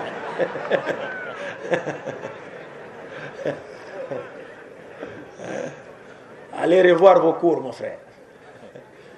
Quel est le royaume qui a succédé à celui de Nabucodonosor dans l'histoire? Hein? Non. Oui, oui, les frères qui disent eh, les royaumes perses ont raison. Ce n'est pas l'Empire romain. Le royaume qui a succédé à celui de Nabucodonosor, d'abord au départ, c'était un royaume constitué de deux peuples, qu'on appelait l'Empire ou le royaume médo-perse. Parce qu'il était constitué de Mèdes et de Perses. Il y a Darius Ier qui était Mède, mais qui était en même temps l'oncle de Cyrus le Grand. Ils ont constitué un royaume, deux peuples qui ont formé un royaume. C'est pourquoi on vous dit, le second royaume est symbolisé par la poitrine et les bras d'argent. C'est-à-dire deux peuples qui se réunissent et en font un royaume. Et, et ce second royaume est symbolisé dans la seconde prophétie par un ours qui marchait en boitillant un peu. Qu'est-ce qu'on dit? On dit en boitant. En boitant, excusez-moi. Eh, c'est-à-dire, excusez-moi, hein, je, voulais dire que le second royaume est symbolisé dans la seconde prophétie par un ours qui marchait en boitant. N'est-ce pas? Et donc, quand l'ange a expliqué cela au prophète Daniel, il a dit que le, le, pouvoir finira par revenir définitivement aux Perses. Et c'est ce qui est arrivé. C'est-à-dire, après la mort de Darius Ier, Cyrus le Grand a pris le pouvoir. Donc, c'était devenu simplement l'empire perse. Aujourd'hui, Iran. Ou bien l'Iran. Est-ce que vous comprenez? Donc, c'est le royaume qui a succédé à celui des, des Babyloniens. Et la prophétie nous dit, après le second royaume, il y aura un troisième royaume qui succédera au second. Et ce royaume est symbolisé dans la seconde prophétie par le ventre et les cuisses d'airain ou cuivre.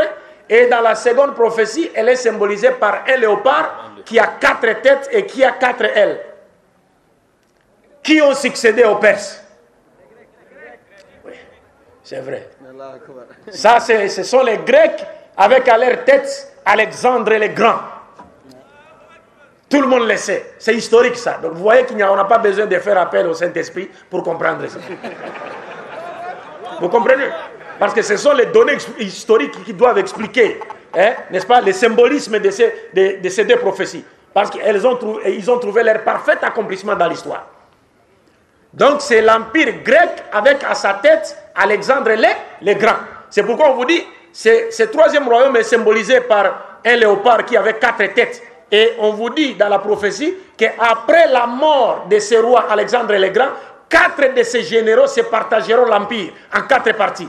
Et effectivement, après la mort d'Alexandre le Grand, le 13 juin 323, avant l'ère vulgaire, donc euh, quatre généraux d'Alexandre le Grand, général Séleucos, Ptolémée, Cassandre et se sont divisés l'empire grec en quatre parties.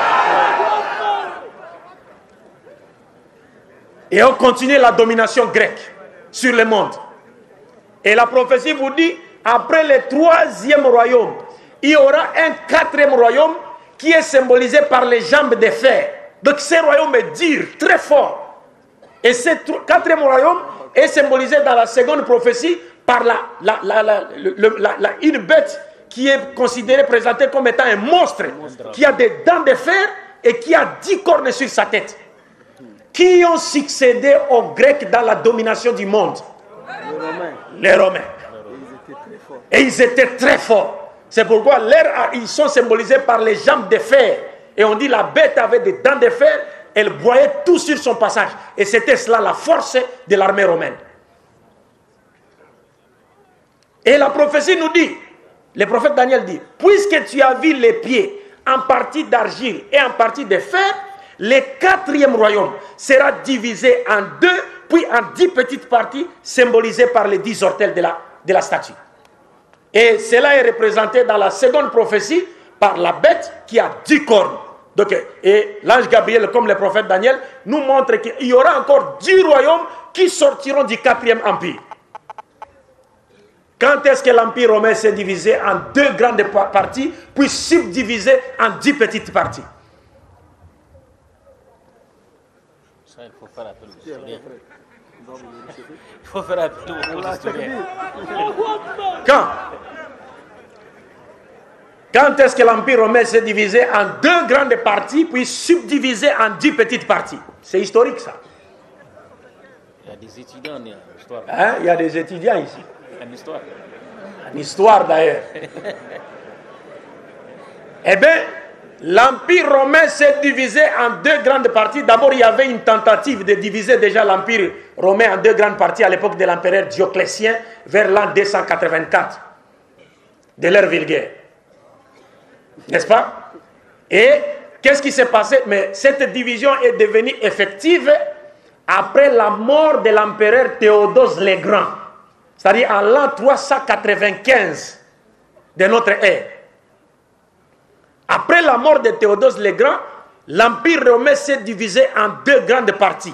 Il y a eu l'Empire romain d'Orient, où Arcadius, le fils aîné de Théodose, a régné. Et il y a eu l'Empire romain d'Occident, où son fils cadet Honorius a régné. Mais la prophétie vous dit, après la division de l'Empire romain en deux grandes parties, il connaîtra encore une subdivision en dix petites parties symbolisé par les dix ortels de la, de la statue, des pieds de la statue, et les dix cornes de la quatrième bête dans Daniel 7. Quand est-ce que l'Empire romain s'est divisé? S'est-il divisé en dix petites parties? Quand? Les historiens. Hein? L'Empire romain s'est divisé en dix petites parties et cette division ne concerne que la partie occidentale. Parce que déjà à l'époque de l'empereur Constantin le Grand, il avait déplacé la capitale de l'Empire romain vers Constantinople, aujourd'hui Istanbul. Donc en Occident, il n'y avait plus rien. Et à l'époque, il y avait un roi romain, Romulus, âgé au moins de 14 ans, qui régnait là-bas. Il a été attaqué par un des rois barbares qu'on appelait Odoacre, qui était un Euryle. Et c'est lui qui a causé la chute de l'Empire romain d'Occident. Et ça a amené les, tribus barbares à se partager l'Empire romain, la partie euh, politico-géographique de l'Empire romain d'Occident. Donc en l'an 476 de notre ère, l'Empire romain d'Occident a été détruit et il y a eu dix tribus barbares qui sont sorties du contexte politico-géographique de l'Empire romain dans sa partie occidentale et qui se sont accaparés de cette, cette partie. Et ce sont ces tribus barbares qui sont symbolisées par les dix ortels de, de, de, la statue et aussi les dix cornes de, de la quatrième bête. Les dix tribus barbares sont les Alamans, les Francs, les Burgondes, les Suèves, les Vandales, les Visigoths, les Saxons, les Ostrogoths, les Lombards et les Ériles. Dix tribus barbares. Parce que la prophétie nous dit il y a des rois qui sortiront de cet empire, quatrième empire. Donc les Français, les Anglais, tous étaient considérés comme des barbares. Parce que le véritable Européen, les véritables Européens à l'époque, ce sont les Grecs. Et même le nom Europe, c'était le nom d'une femme dans la mythologie grecque, qu'on appelait Europa, ce qui veut dire blanchère, donc elle était très blanche. Est-ce que vous comprenez un peu donc ce sont ces tribus barbares, les Alamans, les Allemands, les Francs, les Burgondes, les Suèves, les Vandales, les Visigoths, les Saxons, les Ostrogoths, les Lombards et les Ériles. Dix tribus barbares ont causé la chute de l'Empire romain dans sa partie occidentale. Et ils ont, elles ont occupé cette partie-là. Et la Bible, la prophétie nous dit, pendant que Daniel observait, considérait les dix corps, donc qui représentent les dix tribus barbares qui sont sorties du contexte politico-géographique de l'Empire romain d'Occident, la partie occidentale de l'Empire romain. Déjà, sa capitale était transférée à Constantinople, aujourd'hui Istanbul. Donc il n'y avait plus rien là-bas. D'abord, après avoir renversé l'Empire romain, la partie occidentale de l'Empire romain, toutes les tribus barbares ont reconnu la suprématie de l'empereur euh, euh, elles se sont soumises à lui. Ça, c'est dans l'histoire. Mais la prophétie nous dit pendant que Daniel considérait ces dix corps, qui symbolisent, qui représentent les, les dix tribus barbares, ici du contexte politico-géographique de la partie occidentale de l'Empire romain, comme nous l'avons dit, il a vu une autre petite corne sortir du milieu des dix cornes. Et cette petite corne avait des yeux d'homme. Elle avait une bouche. Elle prononçait des blasphèmes contre Dieu. Et l'ange Gabriel, dans son explication, a dit c'est un autre royaume, sera un autre royaume qui, sortira des milliers, du milieu de, de ces dix petits royaumes des barbares. C'est quoi la petite corne? Non, pas du tout. Loin de là. Bon, il y a quelqu'un, il y a quelqu'un qui dit l'Église catholique, mais je souhaiterais que vous posiez cette question aux chrétiens. N'est-ce pas? Parce que je ne voudrais pas ici blesser les sentiments des gens. Hein? Mais du moins, tous les chrétiens sont unanimes pour dire que la petite corne représente telle église. Allez faire des recherches. C'est un devoir à domicile. C'est nettement mieux comme ça. C'est un devoir à domicile. Ouais. Donc c'est un pouvoir politico-religieux. C'est un pouvoir politico-religieux. Et on vous dit, ce pouvoir est du milieu, c'est-à-dire existera du milieu, sortira du milieu des dix petite corne qui représente les dix tribus barbares. Or, nous connaissons les dix tribus barbares, ce sont des nations qui existent aujourd'hui en Europe. Et il y a un autre royaume qui est au milieu d'eux et qui est un royaume politico-religieux. C'est un royaume politico-religieux. Il a même ses ambassadeurs partout au monde. Vous avez, vous avez tout dit là. Non, je n'ai rien dit, je donne seulement des indices. Hein? Ben, vous- je pourrais vous aider en vous donnant, en vous citant un document. Allez, bon, cherchez sur le net les documents de, de Luther, hein? Martin Luther. Il a écrit un livre. Non, non, c'est les protestants, c'est lui qui a été à la base de la formation du protestantisme. N'est-ce pas? Il a écrit un livre de la captivité de Babylone. Et il vous dira qui est cette corne. N'est-ce pas? Vous trouverez le livre gratuitement sur le net, Inch'Allah. Mais la corne, la corne représente un pouvoir politico-religieux qui prononce des blasphèmes contre Dieu. C'est-à-dire qui enseigne des doctrines, n'est-ce pas, qui salissent la personne de Dieu. Et la prophétie nous dit, pendant qu'elle enseignait, elle disait ces blasphèmes-là, le prophète Daniel a vu le tribunal de Dieu s'asseoir. Des livres contenant les, déviations de cette petite corne et de la quatrième bête de laquelle elle est ici ont été ouverts. Et Dieu a fait appel à un fils de l'homme et il lui a donné la direction spirituelle et temporelle de toute l'humanité. Et, et on vous dit, et on vous dit, et on vous dit que ce fils de l'homme, c'est comme, remarquez, rappelez-vous dans la prophétie, la, première prophétie, on, on nous a dit, le royaume des cieux symbolisé par la pierre apparaîtra après la division du quatrième royaume en deux, puis sa division en dix petites pa- parties. Et on dit c'est dans les temps de ces rois-là, c'est-à-dire les rois barbares, hein, des royaumes barbares, que Dieu inaugurera son royaume sur la terre. Et dans la prophétie de, de Daniel 7, on nous dit, on nous donne encore des précisions en disant que le Fils de l'homme, donc le Fils de l'homme qui viendra inaugurer ce royaume de Dieu symbolisé par la pierre, au chapitre 2, fera son apparition après la destruction des trois des dix royaumes, hein, des trois des dix royaumes barbares. C'est à ce moment-là que le Fils de l'homme viendra. Maintenant, regardons dans l'histoire. Regardons dans l'histoire. Nous savons aujourd'hui que Jésus-Christ a existé avant la division de l'Empire romain en deux, puis grande partie, puis sa subdivision en deux petites parties. Jésus existait avant cela. Et selon les chrétiens, il aurait même été arrêté sur ordre d'un gouverneur romain, Pilate. Il a été tué, ressuscité par Dieu, selon les chrétiens. Élevé au ciel, il laisse les Romains régner. Mais la prophétie nous dit, le royaume de Dieu symbolisé par la pierre, c'est ce royaume-là qui détruira le quatrième royaume, c'est-à-dire l'Empire romain. Maintenant, regardons dans l'histoire qui ont détruit l'Empire romain?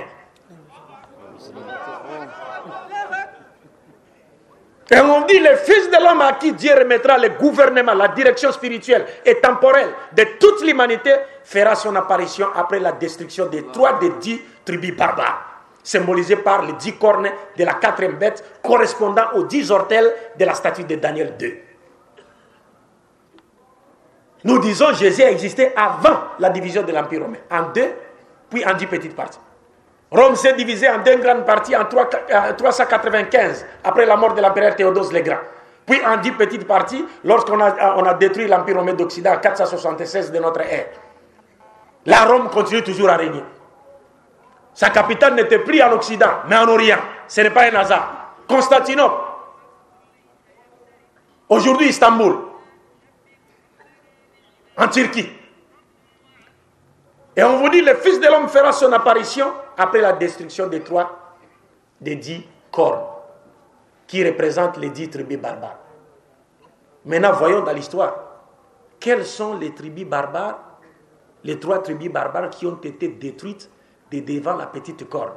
Et après leur dest- destruction, le Fils de l'homme fera son apparition. La première tribu barbare qui a été détruite, c'est celle des Zéril. En l'an 493 de notre ère, les Zéril ont été détruits. La seconde euh, tribu barbare qui a été détruite, historiquement, c'est l'an 500, à partir de 534 jusqu'à 38. Ce sont les Vandales. La tribu barbare des Vandales. Et enfin, la troisième tribu barbare qui a été détruite, c'est celle des Ostrogoths. En 552. Regardez bien. La dernière tribu a été détruite, c'est laquelle? C'est celle des Ostrogoths. En 552 de notre ère, on a détruit. On dit, juste après leur destruction, le Fils de l'homme fera son apparition. 552, la dernière tribu est détruite. En 570, c'est-à-dire 18 ans après, Mohamed Naki à la Mecque, 40 ans après,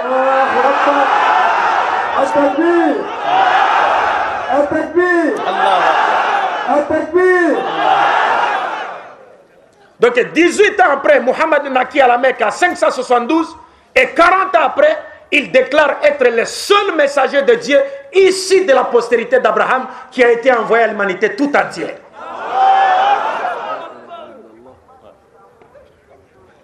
Et il vient inaugurer le royaume de Dieu sur la terre, qui est symbolisé par une pierre. D'abord, vous regardez, il n'y a pas une seule religion qui a le symbolisme de la pierre ici, si ce n'est l'islam.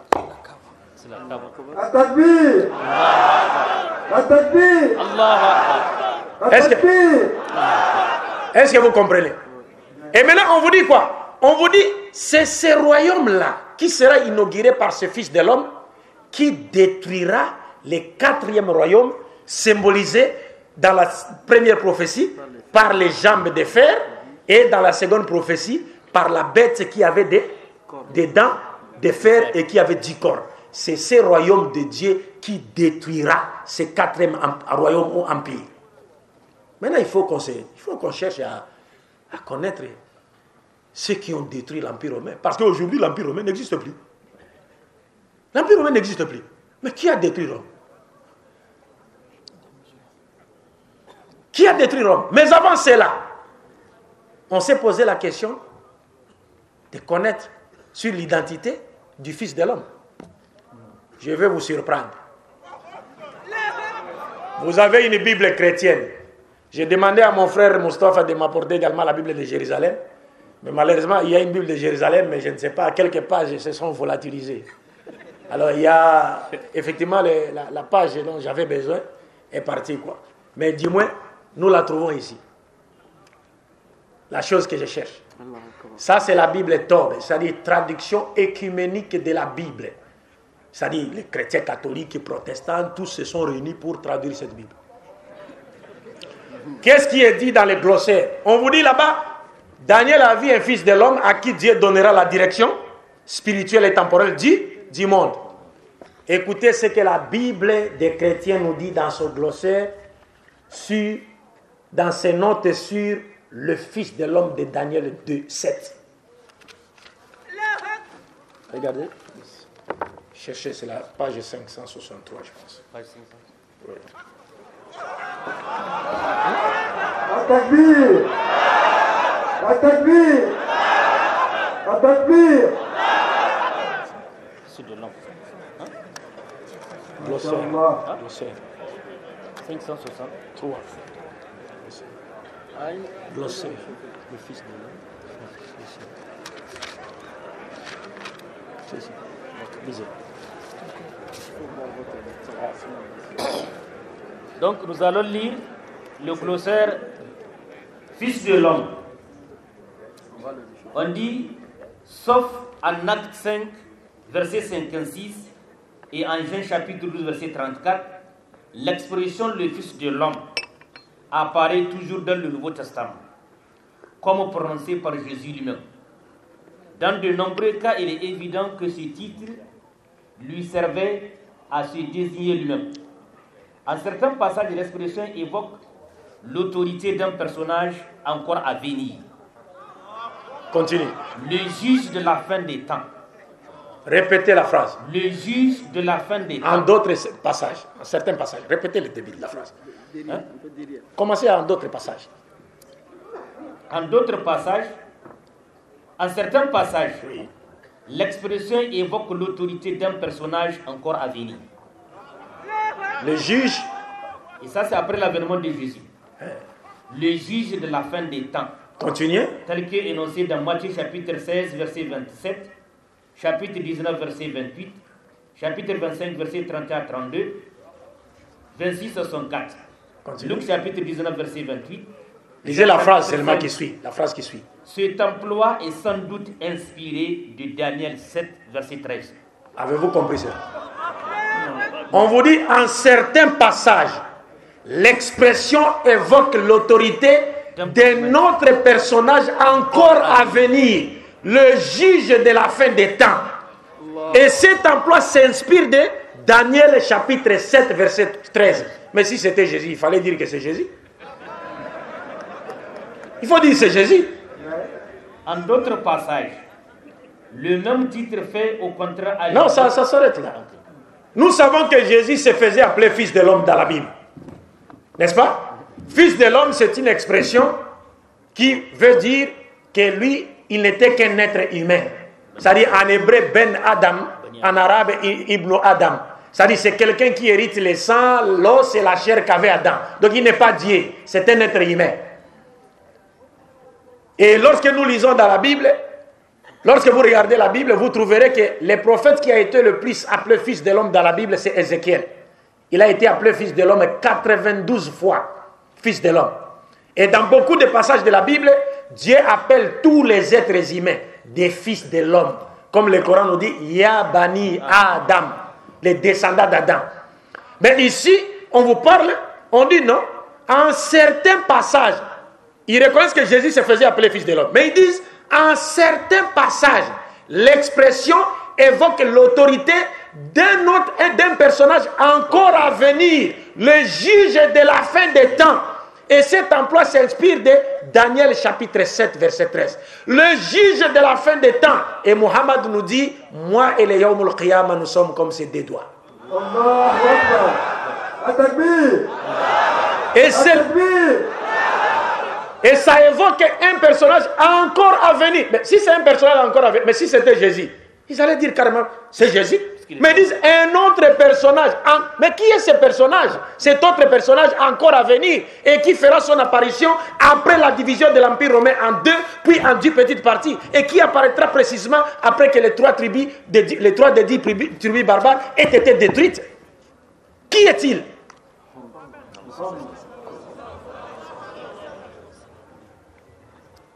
C'est-à-dire, aucun chrétien ne peut aujourd'hui lancer un défi aux musulmans en disant non, non, non, cette prophétie ici ne parle pas des musulmans, de, de Muhammad, ça parle plutôt de, de Jésus. Non, ça n'existe pas. On a fait des débats et des débats, des débats et des débats de pasteurs, et la plupart d'entre eux ont fini par se convertir à l'islam.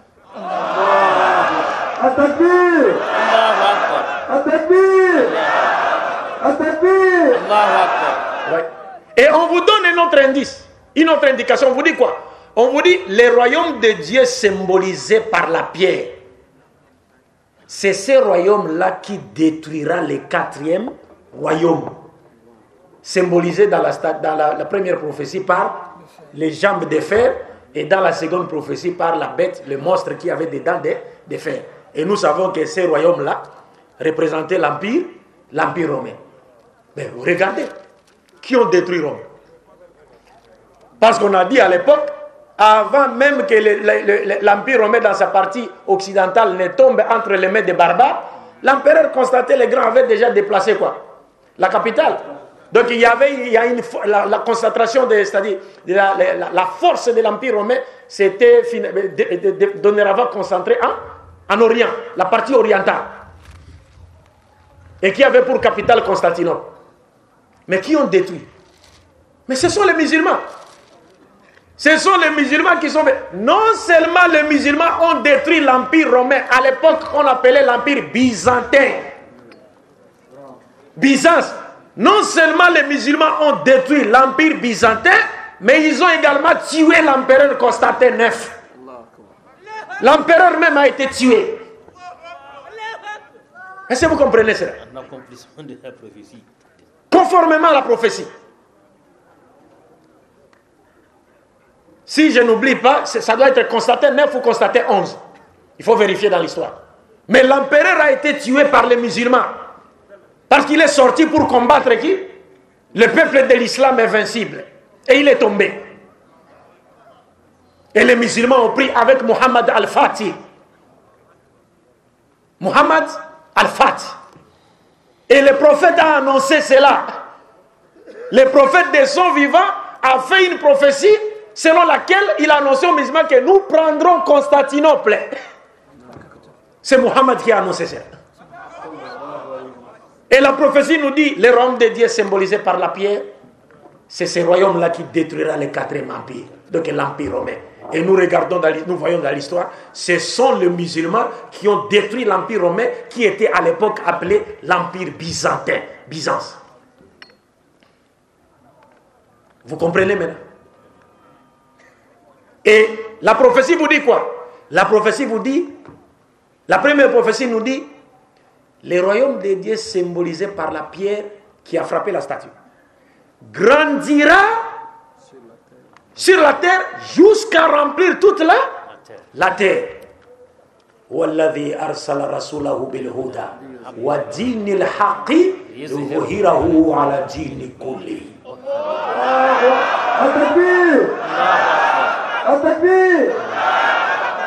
Jusqu'à ce que le prophète Mohammed dans un langage de défi, il dit pas une seule maison, pas une seule case sous le soleil ne restera sans que l'islam n'y pénètre. Pas seule. La prophétie dit, elle grandira jusqu'à remplir toute la terre. La prophétie ne s'arrête pas là. La prophétie dit, ce royaume-là ne sera jamais détruit. C'est-à-dire, la prophétie nous annonce indirectement que ce royaume de Dieu symbolisé par la pierre sera combattu. Les gens chercheront à le détruire, mais ils n'y arriveront jamais.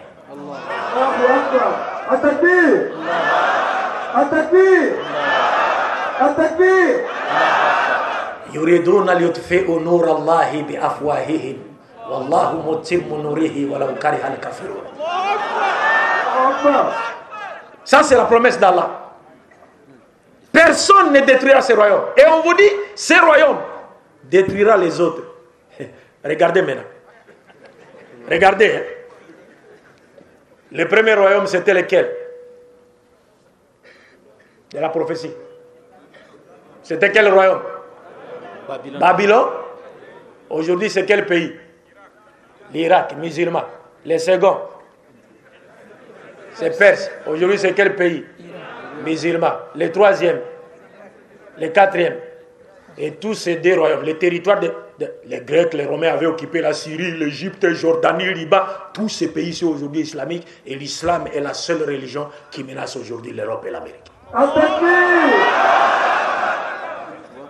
Parce que c'est le seul royaume qui restera sur terre, comme le dit la prophétie. Et les gens chercheront à le détruire, mais n'y parviendront jamais.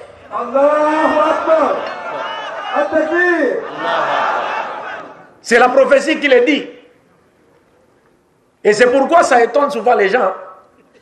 Ça dit, des fois, vous allez entendre quelque part. C'est quand je suivais, par exemple, ce qui se passe aujourd'hui à Centrafrique. Je vois, on détruit une mosquée, on brille le Coran.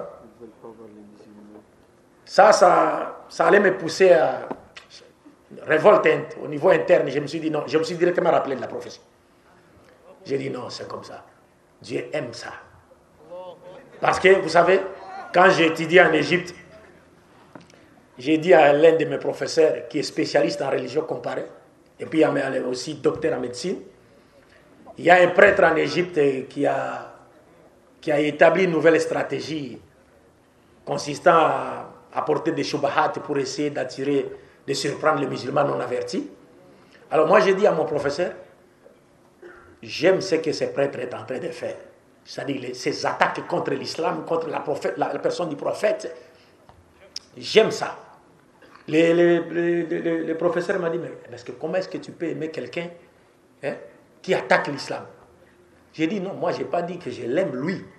J'aime ce qu'il fait. Pas lui. Et il me dit, pourquoi? J'ai dit Alban, voilà une bonne question. Vous savez pourquoi?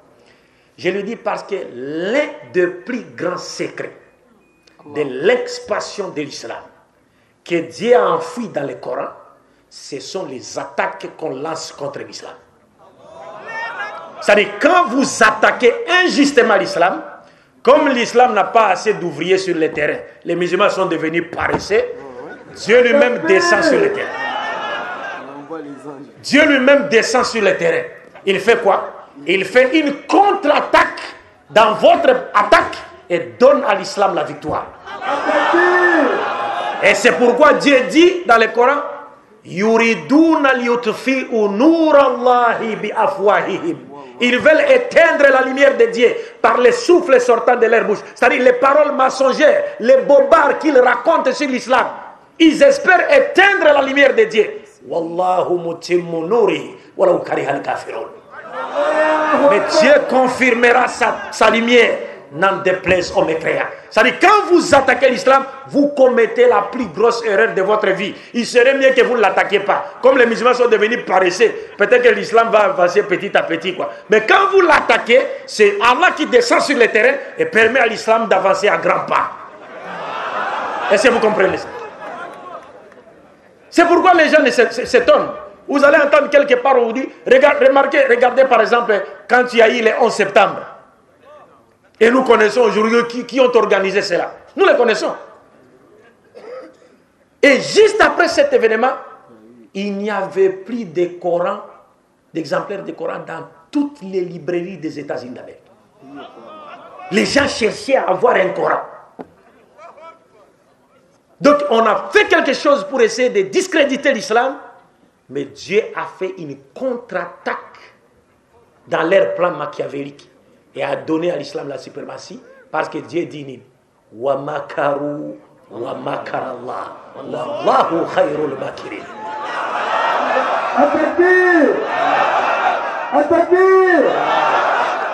Donc en conclusion mes chers frères et sœurs on a été un peu long.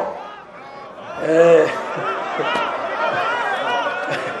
on y reviendra dans l'avenir Inch'Allah Priez Dieu pour qu'il nous accorde une longue vie dans sa soumission, dans la soumission à, à sa volonté, et qu'il continue à faire de nous une fierté pour l'islam et les musulmans.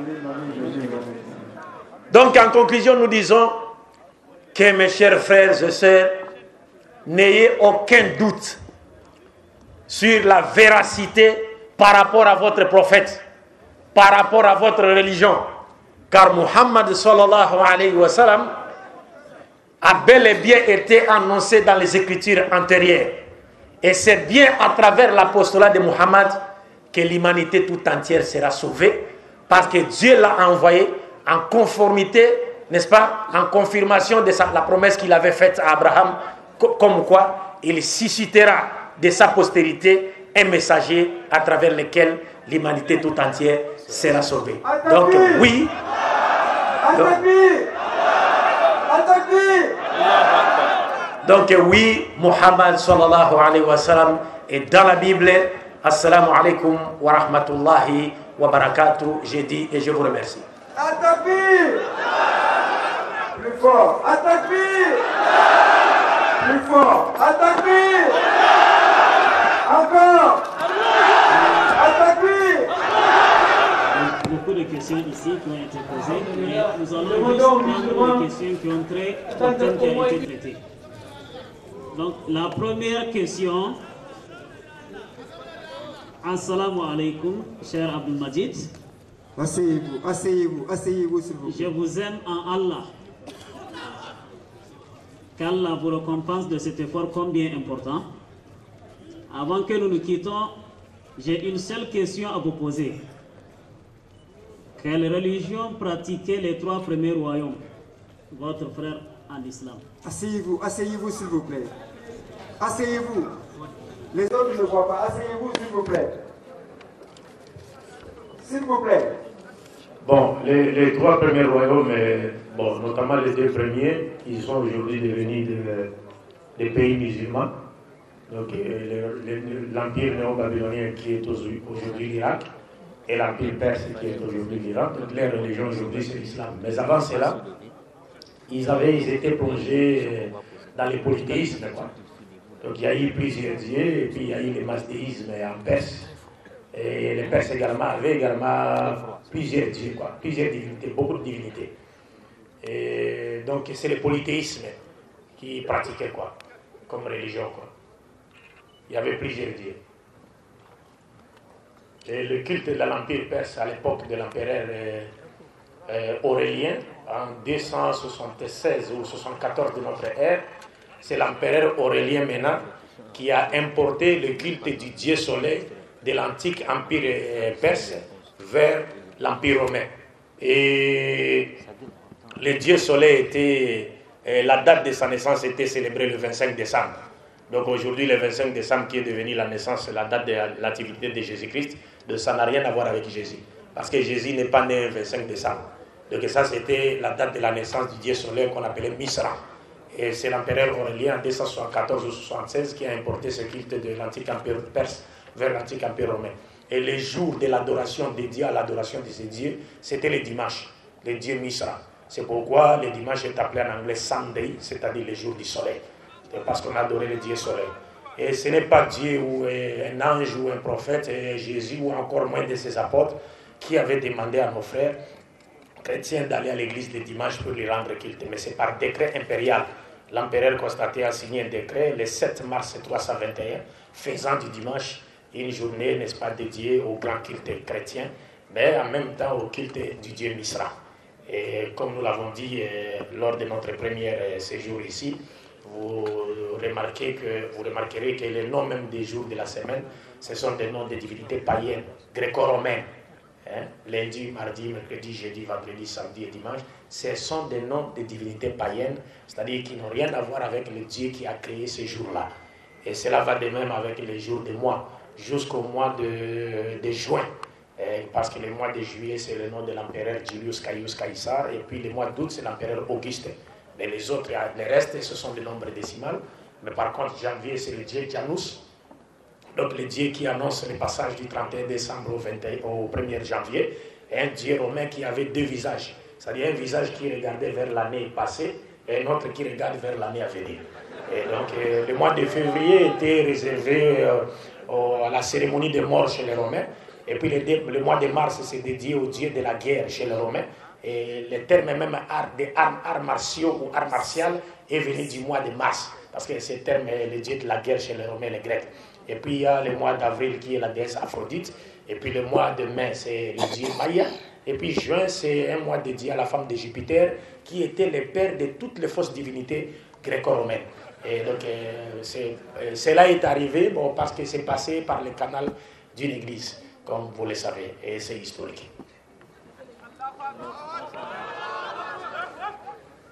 La deuxième question, pouvez-vous nous parler des prophètes de l'Apocalypse? Notamment la femme prostituée, les chevaux. Bon, comme je l'ai dit, euh, je ne voudrais pas ici blesser les sentiments de, gens, quoi, n'est-ce pas? Parce que par la femme prostituée, moi, je sais de, qui il s'agit. Et s'il faut rentrer en détail, peut-être on nous accusera. Hein, Est-ce que vous comprenez? Bon, mais comme vous avez touché à l'Apocalypse, je pourrais peut-être vous donner encore un autre passage de l'Apocalypse qui confirme la véracité de Mohammed. Et cette fois-ci, c'est dans l'Apocalypse chapitre 14, versets 6 à 7. Vous savez, les chrétiens même le savent. L'Apocalypse, c'est une révélation que Dieu, euh, Jésus-Christ a faite à Jean-Baptiste après la mort de tous ses apôtres, y compris la mort de Paul, selon la Bible. Mais que cette révélation, c'est Dieu lui-même qui l'a faite à Jésus d'abord. Parce que le premier verset de l'Apocalypse, Apocalypse chapitre 1, verset 1 nous dit, voici la révélation de Jésus-Christ que Dieu lui a donnée, n'est-ce pas, pour qu'il montre à ses serviteurs ce qui doit arriver dans l'avenir. Or, donc, cette prophétie, Paul est passé, tous les apôtres sont passés, Jean serait euh, à l'île de Patmos, n'est-ce pas, c'est là-bas qu'il aurait eu une vision et il a vu Jésus lui donner cette prophétie. Mais dans cette prophétie, au chapitre 14, qu'est-ce qu'on nous montre? On nous dit que Jésus a annoncé l'avènement de notre message universel et éternel qui viendra après lui. Apocalypse chapitre 14, verset 6 à 7, Jean dit, j'ai regardé, je vis un ange qui volait au milieu du ciel et qui était porteur d'un évangile, c'est-à-dire une bonne nouvelle, pour l'annoncer aux hommes de toutes tribus, toutes langues, toutes races, euh, tout peuple. Et quel était le message de ce dernier évangile éternel de Dieu? Le message n'invite pas l'humanité à croire à la mort de Jésus comme disent les chrétiens. Mais le message de ce dernier évangile, c'est lequel la Bible nous dit, l'ange disait, craignez Dieu, itakullah, rendez-lui gloire, adorez celui qui a fait le ciel et la terre, car l'heure de son jugement est arrivée. Et ce message sera révélé à un homme.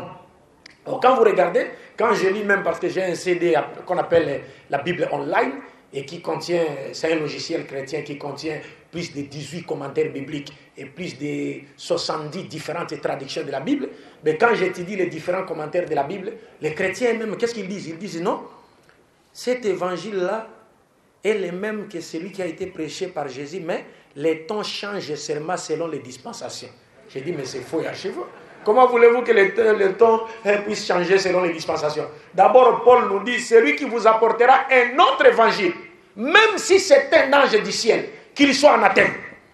Et Dieu lui confond en envoyant un autre évangile apporté par un ange, un message éternel qui est apporté par un ange après que Jésus soit passé et qui est destiné à toute l'humanité. Qui est cette personne qui a déclaré avoir reçu de Dieu à travers un ange un message universel qui est destiné à toute l'humanité et dont les, la caractéristique, la principale caractéristique est l'appel à la crainte de Dieu. Et la Bible définit la crainte de Dieu comme la reconnaissance de l'unicité de Dieu et la soumission à sa loi. Qui?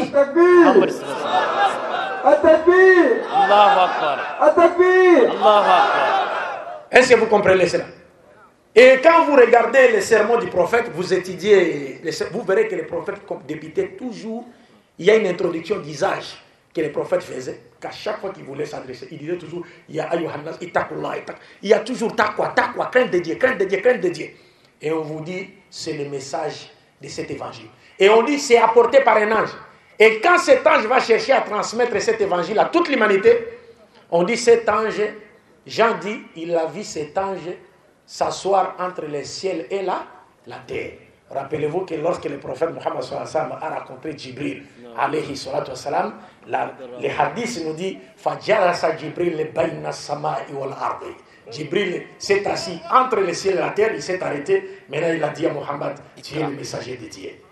Et moi, je suis le messager de Dieu envoyé vers toi. Et c'est Mohammed qui est le seul prophète, comme il l'a dit lui-même, qui a reçu de Dieu un message universel après que Jésus soit passé, et c'est là à travers un ange qui est donc l'ange Gabriel, Jibril, alayhi salatu wa salam. Il faut arrêter. Il faut arrêter comme ça. Voilà, nous arrivons au terme de cette euh, conférence. Nous allons nous arrêter ici. Pour les questions qui n'ont pas été répondues, donc euh, ils n'ont pas trait au thème qui a été traité. Si on trouve une occasion, Inch'Allah, on peut, on peut répondre à certaines questions.